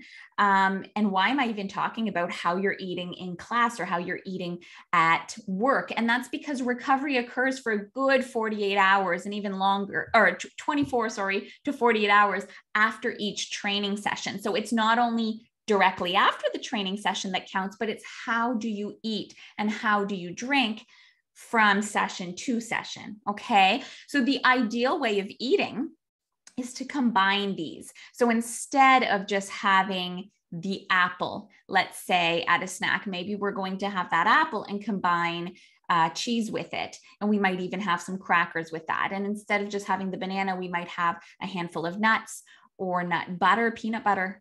Um, and we could add maybe a granola bar if we wanted to, if we needed that extra fuel. Okay. So this is called the Athlete's Plate, and it's been around for a good 10 years, uh, maybe even longer, developed by the US Olympic Committee, and it's a really good resource. Um, but you'll, I'm going to show you in terms of athletics in general and, and the, the disciplines that you'd mentioned you're mostly all focused on requiring more fuel than that basic plate, which would often be, you know, the food guide plate that we see as well um, in public health and in dietitians who work with public health and schools and that type of thing. That would not be enough fuel for you as athletes. So if we're looking at this plate, this plate is divided in a way that you're getting about 0.3 grams of protein per kilo body weight. So for most of you, we'd be looking at anywhere from a maybe 20 to 25 grams of protein. And then we're having about a two to one carb to protein ratio if we're looking at this plate particularly. So this plate could be maybe if you have one training session a day that's not too, too heavy, maybe you train an hour and then you have an hour of flexibility work um, or maybe uh, technical type of work that is not going to be um, putting out as much energy. Okay. Now, I want to remind you this is the plate you put in front of you when it's time to eat. And you're putting this plate in front of you or these three combinations about every three hours throughout the day. So, snacks are not just for the little kids, snacks are for everyone. Now, you're putting this plate in front of you, but then you should be able to trust your body to help guide you into how much you actually need to be consuming. So, on some days, you may need to go back for seconds, whereas on other days, you might not feel the need to finish your plate. And that's the side of it that you've got to trust your body to do. And some some athletes will tell me, "Listen, I can't trust my body because I'll want to eat a hole through the wall." And you've got to remember if you don't have enough protein, or maybe if you didn't earlier on in the day uh, have breakfast or you skipped a snack, then this will cause you to have a harder time following your appetite or trusting your appetite. So we've got our whole grains here and our fruit. This would be our gas in the gas tank. That's the fuel. Now, the protein is the energy stabilizer that helps the fuel last a longer time instead of spiking and crashing. The protein, that's the eggs, that's the nuts, the chickpeas, uh, the fish, the cheese, the Greek yogurt. Okay. And then we've got our vegetables, and the fruit and vegetables gives us antioxidants. So, a lot of different colors, and every color gives different types of antioxidants to help with training adaptation. So, when I'm talking about training adaptation, it's if you were to look at your muscles, even under a microscope, we'd want um, a scientist to be able to say, okay, I can tell which sport this athlete's in, which discipline, which level, because of the, the, the, development of the mitochondria and the cells and the fast twitch and the slow twitch fibers and so on. And what helps our body adapt from one training session to the next um, is a lot of the vitamins and minerals we consume as well. So the different colors can help, and, and that's always a good thing to be consuming. Now, before I show you the next plate here, I want to remind you about periodization. So does anyone know the term periodization? I know uh, coaches use it quite a bit. Maybe uh, if any of the athletes know what the term periodization means.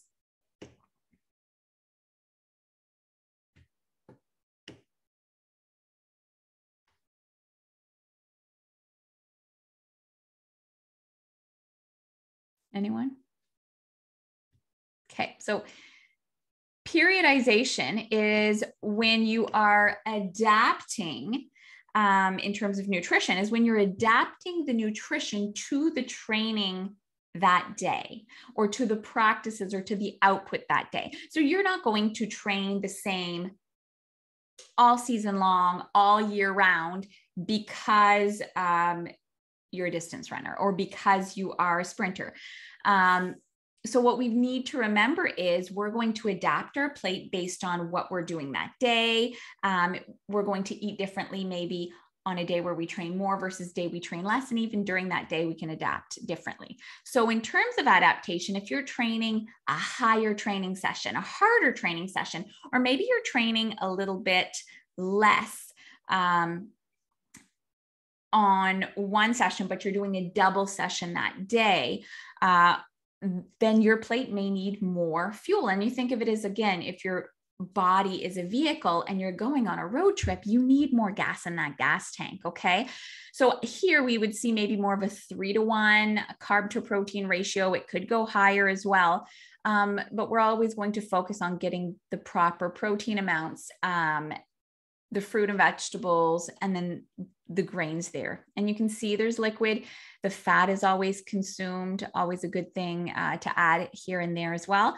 Um, but the priority is really to have the three groups. Now, if you have an early training session in the morning, you definitely get, have to give yourself time to digest. So this would be about a three hour before a hard training session or a hard practice. And I'm not expecting you to get up at 4 a.m If that's the case, if you're doing something in the morning, you might go with just more of the carbs um, and a little less protein. We're going to reduce the protein by about half if you're training maybe an hour, an hour and a half beforehand, uh, sorry, after your meal. And if you wake up and you're, you know, going right away uh, for a run or anything like that, or going to the gym to lift weights, then you might just have an applesauce or a banana or something that simple. Okay. How are we doing so far? Any questions?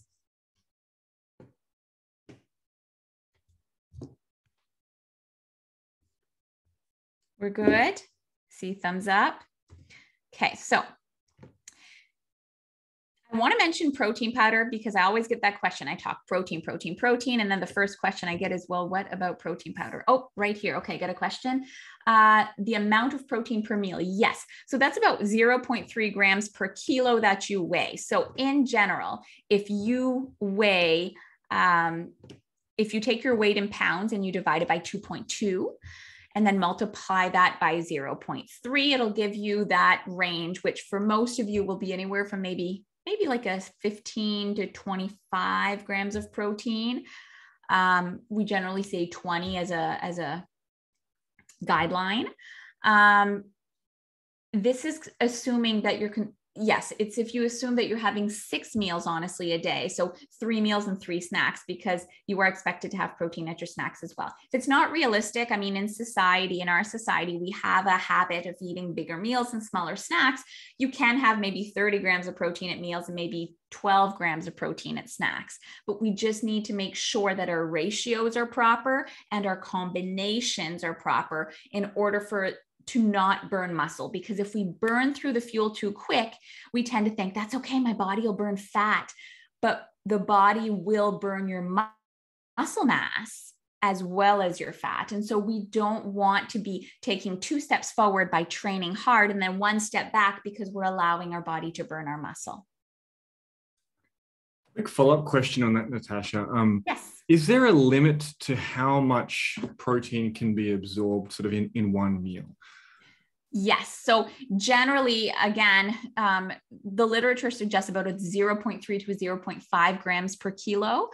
Um, at a meal. And other than that, I mean, if we're having large amounts, and I've seen athletes having like a 60 grams of protein thinking they're doing themselves justice, but you will be urinating that out for the rest of it. So it's really getting that balance in. And if your meals are that large, instead, maybe spread it out and have you know half of it three hours later so you can actually benefit from that protein so that's a very good question so in terms of protein powder you've probably all done your uh, courses on doping and so on um, but i want to mention real food first. I always suggest real food first because there is more vitamin mineral bioavailability. So your ability to absorb and use vitamins and minerals is going to be greater from the real food. Um, you're not going to see studies show you're not going to see more benefit with a protein powder than with real food. The reason protein powder is so popular is just because it's an easy grab.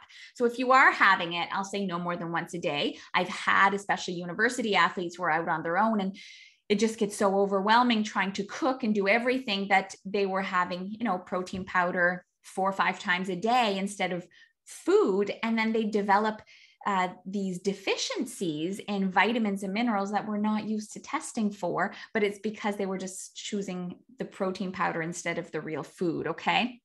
So we definitely want to make sure that if you choose a protein powder. It is certified NSF or Informed Sport, very, very important.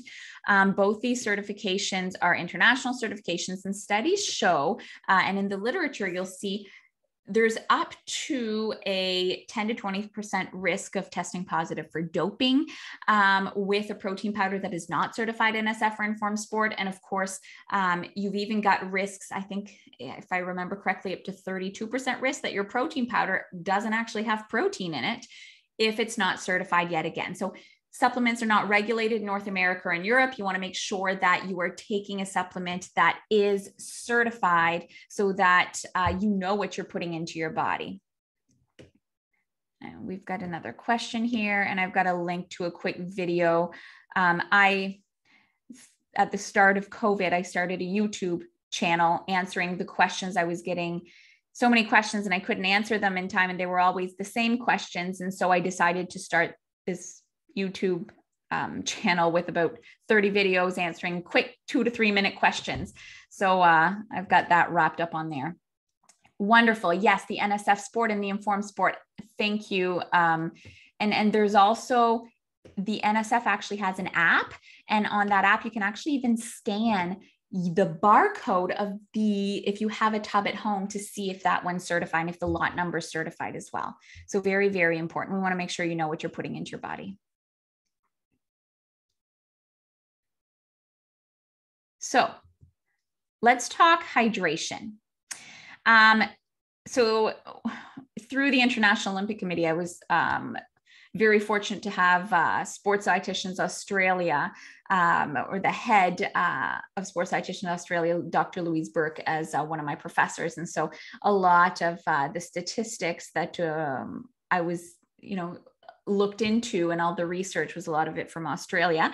Um, so Brandon, I, I, think you're so fortunate to have been uh, had the chance to to work with uh, with her as well. But um, so studies show that fluid loss of more than two percent body weight during exercise is common in most sports, uh, lasting longer than an hour or more. Now, what is two percent dehydration? So, I just want to know how many of you maybe write uh, me in the chat box if you check your pee first thing in the morning when you wake up. So, how many of you actually look into the toilet bowl, turn the light on and turn open your eyes and look into the toilet bowl and see what color your urine is or how dark your urine is first thing in the morning? I've got a yup here. Yup. Beautiful. Anyone else? Yes. We've got three. I'm hoping if you can take away anything from the session, if you're not doing it, you start doing it. Yes, beautiful. Another one. Awesome. Okay. So I'm hoping that if you were to ask this question again in a week's time, Brandon, that you get every yes on there. Um, now, if your urine is dark first thing when you wake up in the morning, if it resembles apple juice, then you are most likely at least 2% dehydrated. If it looks like um, a highlighter, then you're taking a lot of B and C vitamin supplements and you're peeing them out. So if you are taking them maybe right before bed, if it's okay with uh, the physician who prescribed them to you to take them earlier on in the day, then it won't affect the tint of your urine the next morning. Okay. So, very much something to pay attention to. Now, okay, we've got another yes. Beautiful. So, if we wake up in the morning and your urine is dark, can you guess uh, how long it takes to rehydrate after that? Any guesses there? To become properly hydrated again?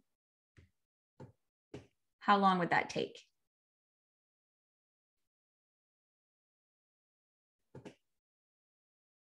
I've got 90 minutes, four hours.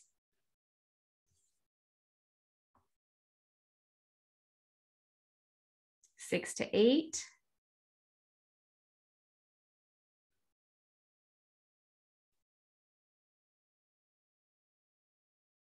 So in general, we'd be looking at a four to 24 hours for full rehydration. Okay. And remember, it takes about 40 to 60 minutes, depending on what you have in terms of food in your gut, for one sip to start hydrating you. Okay. Um, so very, very important. I see that, uh, oh my goodness face. That's what I call it. Um, but uh, yes, it is surprising. So if you are training uh, multiple times a day or even daily, this is when it is really hard sometimes to remain hydrated. And I want to finish this statistic here in front of you. But studies show that if you're dehydrated, um, it can take, uh, it can reduce your performance by up to 30%. So think of it, you can be performing, it can be physically impossible for your body to achieve more than 70% of your full potential. Now, most of you will not be dehydrated to that extent all day long, but even if you're just achieving 80 to 85% of your potential when you think you're doing your best, if you're constantly practicing and training at you know 85% of your potential what does that mean when it comes time to race to compete for tournaments for meets right um, so this reduces endurance capacity sprint times power reaction time decision making and skill execution okay crucial to pay attention to hydration. And now I know there must be some of you sitting there drinking your water when I'm talking about this. There's always a couple of them in the group. So, uh, hats off to you. I'm, I'm having a sip too. Um, but you should be bringing around a water bottle everywhere you go. So if you don't leave the house without your cell phone, you should have your water bottle in the other hand. And if you're at home, if you're working from home, or if it's the weekend, you should have a water bottle when you go from room to room. Now, the overachievers will think, okay, I'm dehydrated first thing in the morning, I'm going to chug. That's not what you have to do. This will make your urine clear, but it's because it goes right through you. It takes a certain amount of time to absorb the liquid. So you can only absorb a certain amount of mill- milliliters per minute. Okay. So you want to take sips throughout the day.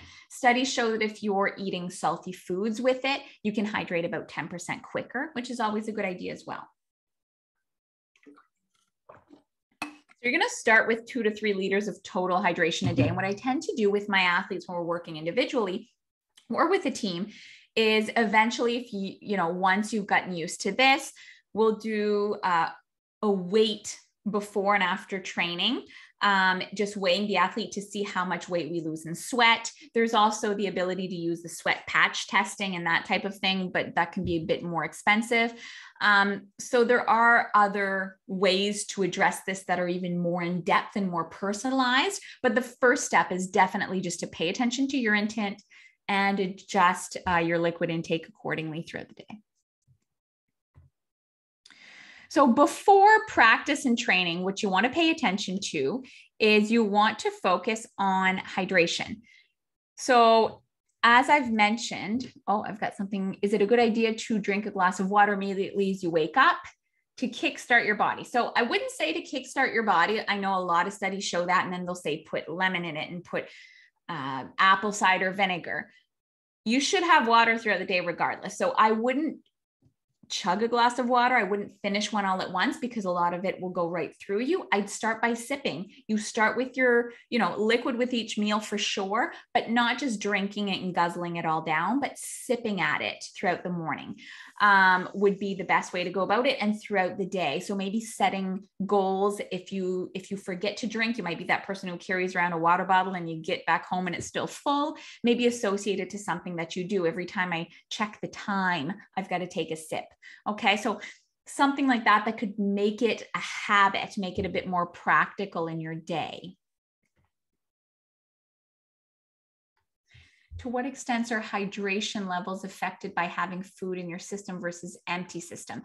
That's a good question. So your ability to hydrate, you'll definitely hydrate a bit quicker um, if you're dehydrated in terms of the rehydration, but if you want to remain hydrated, the carbohydrates will actually hold the water in your system as well. So it, it has to do with gastric emptying. Um, it has to do with your ability to hold the liquid in your body as well.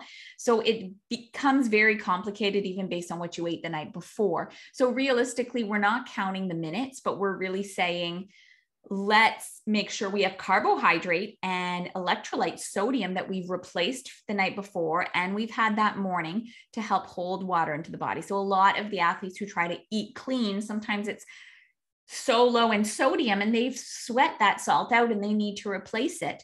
Um, and in other instances, we're going to have the limited carbs, which means that the water, you know, is going right through you and you're not able to absorb it as much. Uh, a gram of carbs tend to absorb about three grams of water into uh, the muscles to help you remain hydrated as well. So it's really that combination of that balanced plate with uh, the hydration that's going to give you the longest hydration effect. Juice will also hydrate. Um, good question. Milk will hydrate. Um, the soy beverages as well. So it it's all the liquids will help you hydrate. Obviously not alcohol, um, but the other liquids will help you hydrate. Even um, caffeine, if as long as we're limiting to no more than um, about a three milligrams per kilo body weight uh, throughout a certain period of time. If you're overdoing the caffeine, it's not a good thing. Um, but uh, otherwise, we're looking, that's why I said the two to three liters of total liquid in a day. And what I've used with athletes before is also the um, Pedialyte. So if it's okay, I'm counting down, it's going to be tight. I've got to rehydrate. I'm dehydrated, or maybe gotten off a plane, competing, you know, having traveled with athletes uh, throughout North America and Europe. There's a lot of dehydration that happens on the flights and things that we try to avoid. But we'll often bring um, like Pedialyte sticks or Hydralyte or Gastrolyte um, because the this is a recipe from the World Health Organization to help rehydrate in situations of severe dehydration um, from diarrhea and, and vomiting and those types of things. So it is a quick help at rehydrating. You shouldn't depend on it, um, but it definitely can help uh, if you're quite dehydrated. So going back to this slide here, we're looking at training practice day. You want pale morning urine first thing in the morning, balancing your plate throughout the day. If you don't have to pee first thing in the morning, that might suggest uh, that you're dehydrated as well. Um, balance plate, the three parts of the plate I showed you, three to four hours prior to training. If you've got less time, um, we're just going to switch it up. So, for example, breakfast. Um, if a breakfast where you're not training until at least three to four hours later, you might have oatmeal that's cooked in soy beverage or cow's milk for more protein. And then you may mix in some peanut butter for another amount of protein, a little bit of fat, cut up a banana apples in there.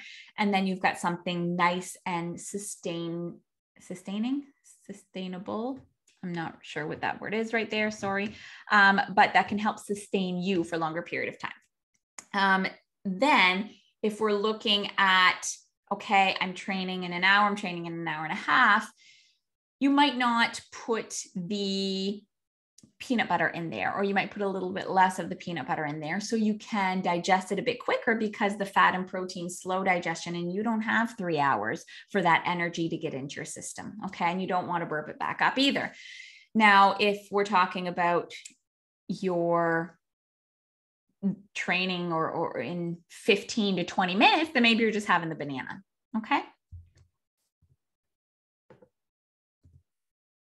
Now, if we look here at, as I've mentioned, 15 to 20 minutes prior to training, this is also called a, a fuel top up or a gas tank top up. So you might be having granola bar um, with, this might be, you know, you're going from work or class or, or school straight to practice. Um, and you just need a little top up from lunch, let's say, or from the snack you've had prior to.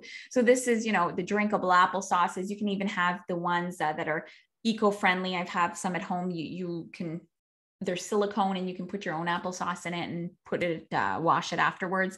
Um, you could do a banana wrap. You could do something like a Clif Bar. We're not talking about the protein bars, but really the ones that are containing mostly just carbohydrate or even just a kashi granola bar, something like that. Not too heavy in nuts. Uh, dry fruit bar, handful of raisins. So there's different combos that you can do based on what you can digest. Gut training is very, very crucial in there as well. So if you have um, issues with fueling, you can start with something as simple as maybe a juice box or a bit of juice. Maybe you'll then switch to dry fruit. Um, maybe after that, you'll be more comfortable consuming even a piece of fruit. So your gut has to get used to digesting um, close to training as well. And, and so it's not something I don't want you to try this before an event for the first time or before a race. You should try this during practice, during training to see what your body's used to and to help your body adapt to this as well. So during practices and training, if it's lasting longer than an hour, so if it's lasting less than an hour, you should be fine with water as long as you fuel properly prior to. If it's lasting longer than an hour, we're needing carbs to be consumed at that time, right? So we're needing um, to put more gas in the gas tank as our car is going on this road trip. Um, we also need sodium to replace the salt we lose in sweat. So there's very many options there. You can make a homemade version if you want to know how. Just uh, ask that question towards the end, and I'll give you that uh, that quick recipe. But regular Gatorade or Powerade, Louis Garneau LG1 that you can get. I believe it's from it's based out of Quebec and uh, it's 700 milligrams of sodium per 500 mil as opposed to the 350 milligrams. So based on your sweat rates, if you cramp, if you get headaches, if you see salt accumulation on your face when you train, maybe that's more towards the summer training. If it gets white and gritty, then this might mean you need more um, sodium replacement uh, than your teammates. So again, we're trying to get the carbs, we're trying to get the sodium. So we're going to get a sports drink in there. We're also going to get maybe every 30 to 45 minutes ish next to your sports drink. You'll have uh, some sort of carb to help top off to reach those numbers for the carb for, for the carb amounts hourly. So again, drinkable applesauce, dry fruit, uh, gels, gummies, maple syrup is very popular. It's a glucose fructose combination, so a lot less gastrointestinal disturbance um, which is why it's now very popular in most of the gels that you can find. Um, but even a tablespoon of maple syrup uh, in, in, one of those uh, salad dressing silicone dispensers that you can get from the store. You can put a bit of maple syrup in there, maybe a bit of uh, lemon juice to uh, water it down, and, and just take a, a small sip of that, about a tablespoon. Um, rinse your teeth after that because otherwise your dentist is not going to like me very much. Uh, studies show that uh, athletes have the best oral habits, but the worst oral health um, because of all this uh, carbohydrate that needs to be consumed as well.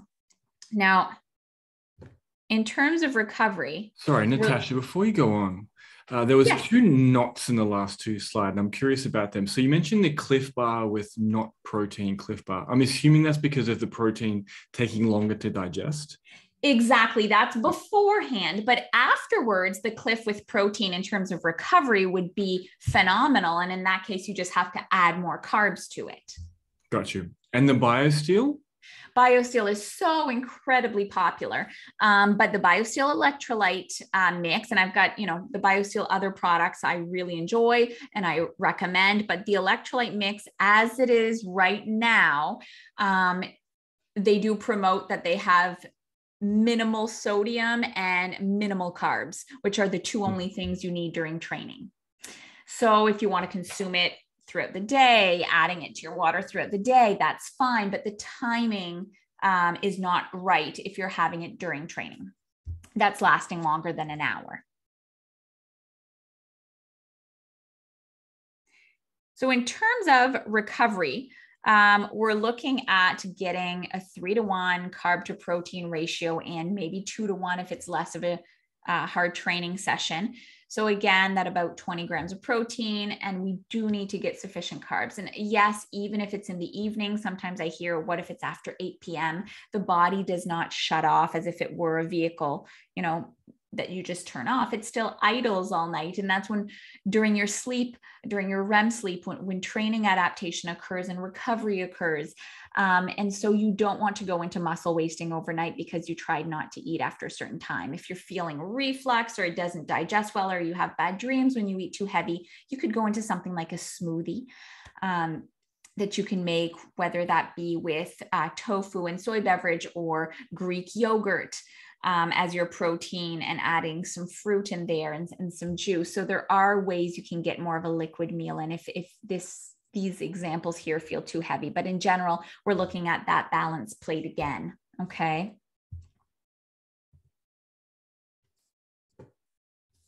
I want to leave time for questions um, and to do the poll again, obviously. So I want to wrap up with the main takeaways here. Um, and you may have other ones that I, I want to hear about as well. But I want you to focus on choosing three parts of the plate every three hours. So if right now you're noticing maybe you're not eating every three hours, focus on that. If maybe you're not um, getting the protein in at your snack and it's mostly a granola bar, maybe get a protein source with that. Okay. So if you've got a pen and paper close by, or even with your phone, you want to write down what your what your changes will be because it's one thing to learn from me and you know this week you may focus on all of this but in a couple weeks in a couple months time you'll forget a lot of, of, of, what we've discussed. So it is important to have these goals set and have them written down somewhere. And maybe, maybe you can write a lot of the things that you've remembered and think, okay, each week I'll focus on a different one.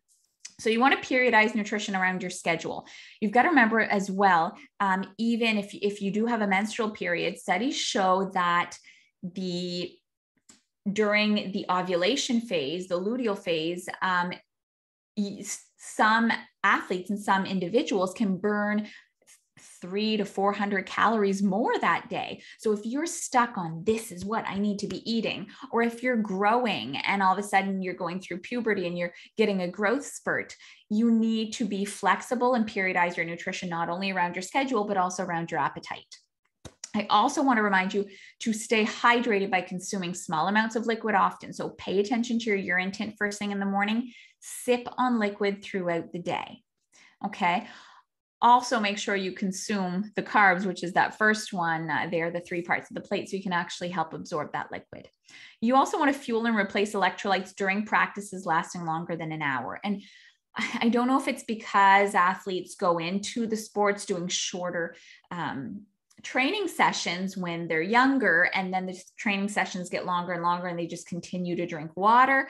But definitely a need for fuel so that you don't start burning muscle throughout the training session, right?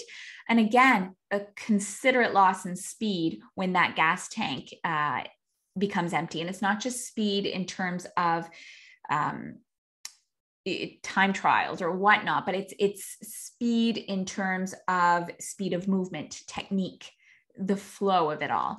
Um, recover with a carb to protein ratio of two or three to one uh, in the hours after training. So, two to three times more carbs than protein uh, in general. So, first, I want to know, um, and I wrote down here if you do need motivation, um, to stay on track. Sometimes I've got athletes who will do, you know, a sports nutrition tip of the week or coaches that'll do that, that type of thing um, or if you've got questions um, for other reasons, you can check out the YouTube channel, the social media.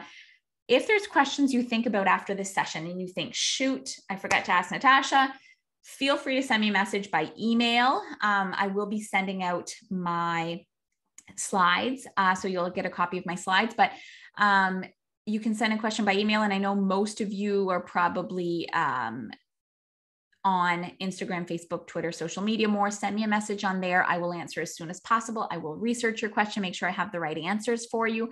Um, but you know, feel free to ask questions. It's not only today, but whenever you have those questions, I'm I'm, ha- I'm happy to help and I'm there to help. Um, so what I want to know right now um, is what are your questions? And if you don't have a question, I want to know what you're going to retain from this session. What did you find useful? What information was surprising to you? Okay, so first question I have here what about soul food? I love that. So I'm going to recommend that soul food not be consumed in the three to four hours before training in that time uh, period. So three to four hours before training, all the way to training or practice or um, obviously training session, uh, uh, races and meets and events.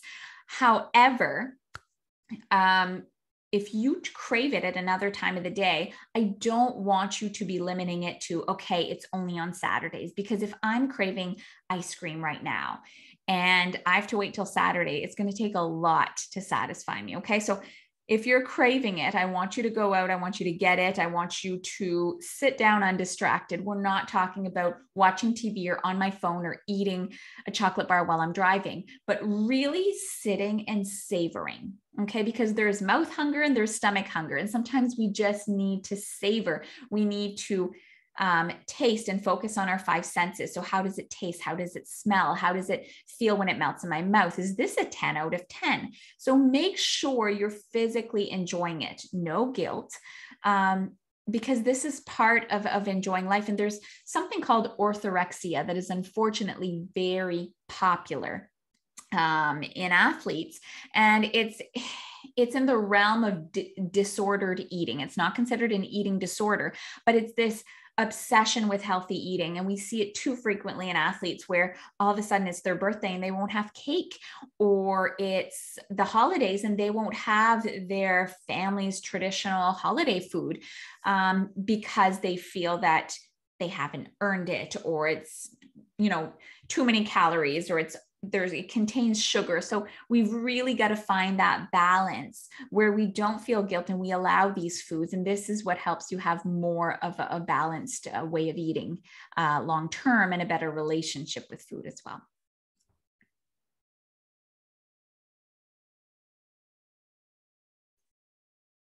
Thank you, Jody. Continuously hydrate. Okay, good. Fueling during training that's more than 60 minutes. I love it. Another takeaway here sipping water all day for hydration. Good, good, good. And for those who were like from a um, cognitive standpoint, I actually gave a, a national conference on it uh, a little while back uh, in French, though. But um, the effect it has on cognitive performance to be dehydrated is significant as well. And of course, cognitive performance or mental performance has a big role to play um, in, in sports performance too.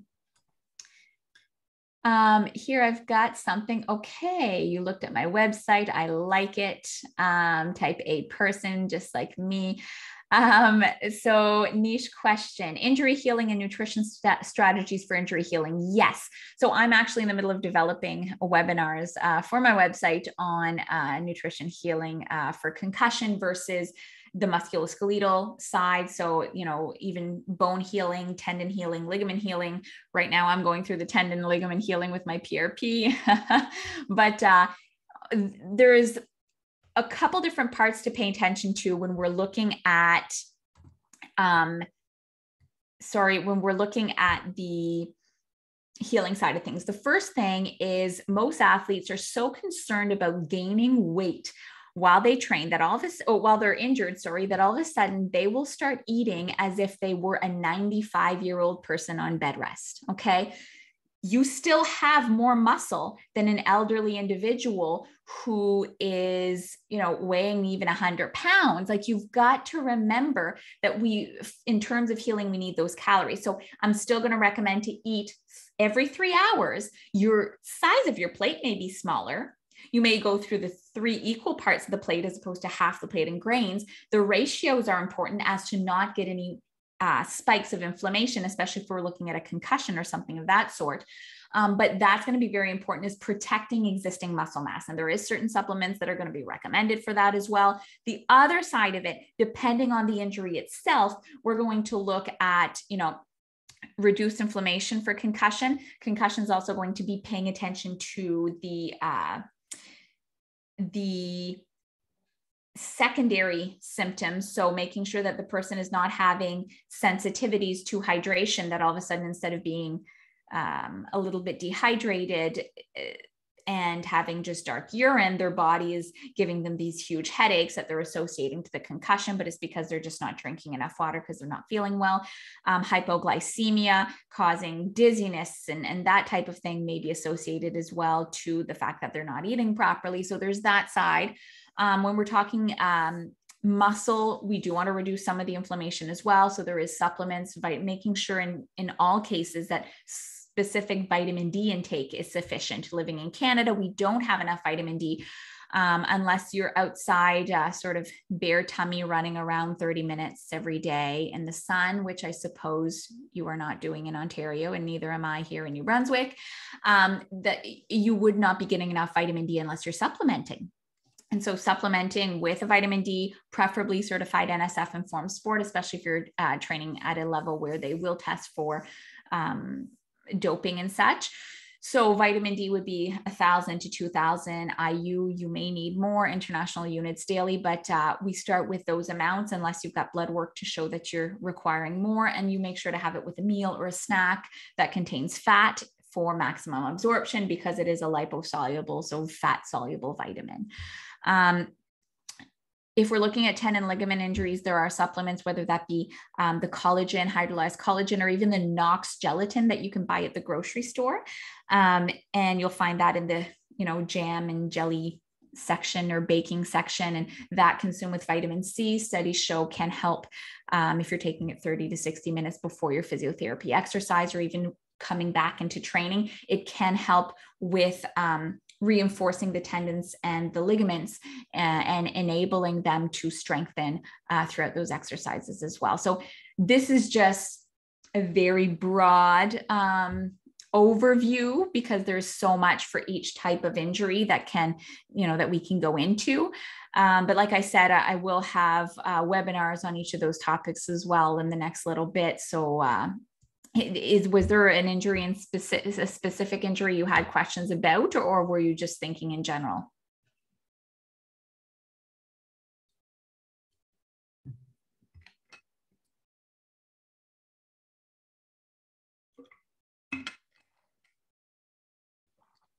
Did it answer the question as well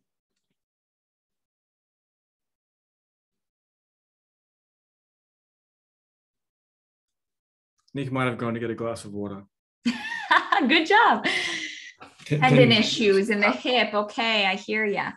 Um, okay, beautiful. Yes, I'm glad that helped. And for the tent, you were grabbing water. I love it.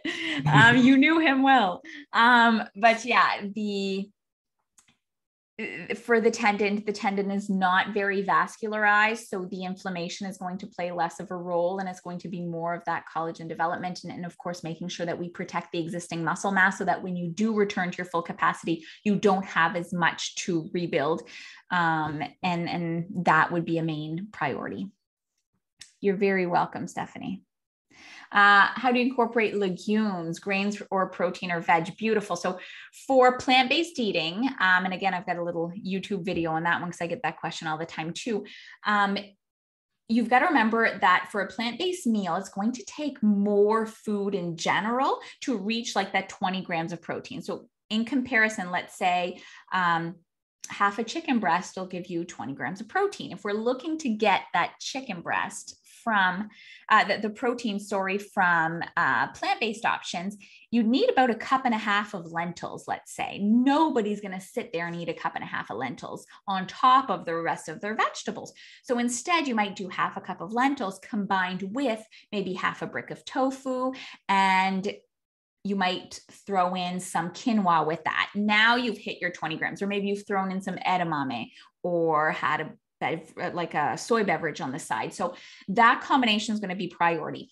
The uh, legumes are going to count as protein and grains sometimes, or most of the time, to tell you the truth. So it would be like a 50 50. Okay. Um, but again, there you're going to need to do a lot of combinations so that it can count. Um, it, you can get enough protein because it is rare that uh, someone will really have the the want to eat a cup and a half of you know chickpeas for example in one sitting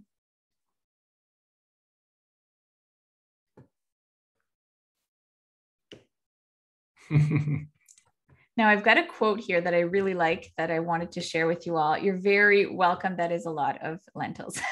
so, this quote here is developed by uh, Dr. Louise Burke. And um, it's one of my favorite quotes. She said, When everyone is highly talented, highly trained, and highly motivated, nutrition will provide the winning edge that separates you from the rest. So, um, and in French, if anyone there is in French, quand tous les athlètes sont très talentueux, très bien entraînés, très motivés, la nutrition sera la composante qui vous sépare du reste. So, I, I really believe that you are all training to your full potential and the or to your full ability right now but the reality of it is if we can if you're right now achieving what you can achieve, but you're not tapping into your full fuel or your best hydration, you can keep doing what you're doing and see more results from it because you are um, pushing yourself uh, to just pay attention to those details. And it can't be always perfect, but it's all about just doing better today than you were doing yesterday. You're very welcome, Sahid. Um, so do we have time for the poll or let's, have let's try and get the poll in. Okay, let's do it. Really quickly. I'll um I'll put it back up. Oh, can I do it again? Relaunch. Okay.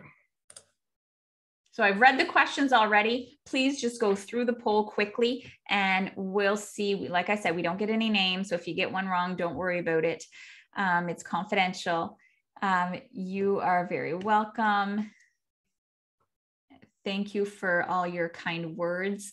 And uh, thank you all for taking time out of your busy schedules yet again. And, and, and Brendan for inviting me to do this. I'm very, uh, very honored to have uh, been invited to take this time to talk to you all about nutrition. Do you have any questions, Brendan, while we're at it or anything that you'd like? I, I wrote down a bunch, but I, I think there were some great questions that came through and um, they're probably a little bit too specific for, for today, but no, okay. that, that was great, Natasha. Thank you so much for that.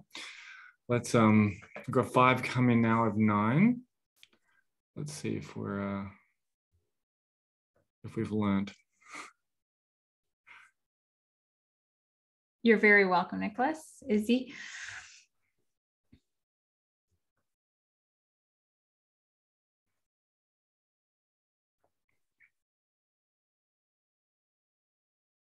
Thank you, Alana.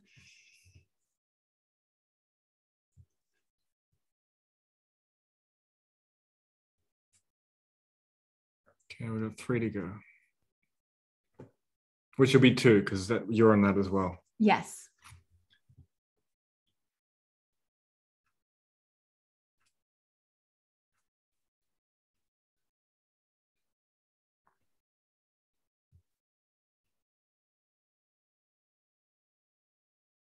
if you get any wrong, we'll just say you all were gone for to grab a glass of water, right? exactly. All right, I'll uh, I'll show the results. Beautiful. Number one, everyone got it right again. Number two, so it'd be about 40 minutes uh, 40 to 60 minutes. Um, but uh, you know what? If you're a very quick rehydrator, you know, 20 minutes, if you've got some sodium in there, Pedialyte maybe.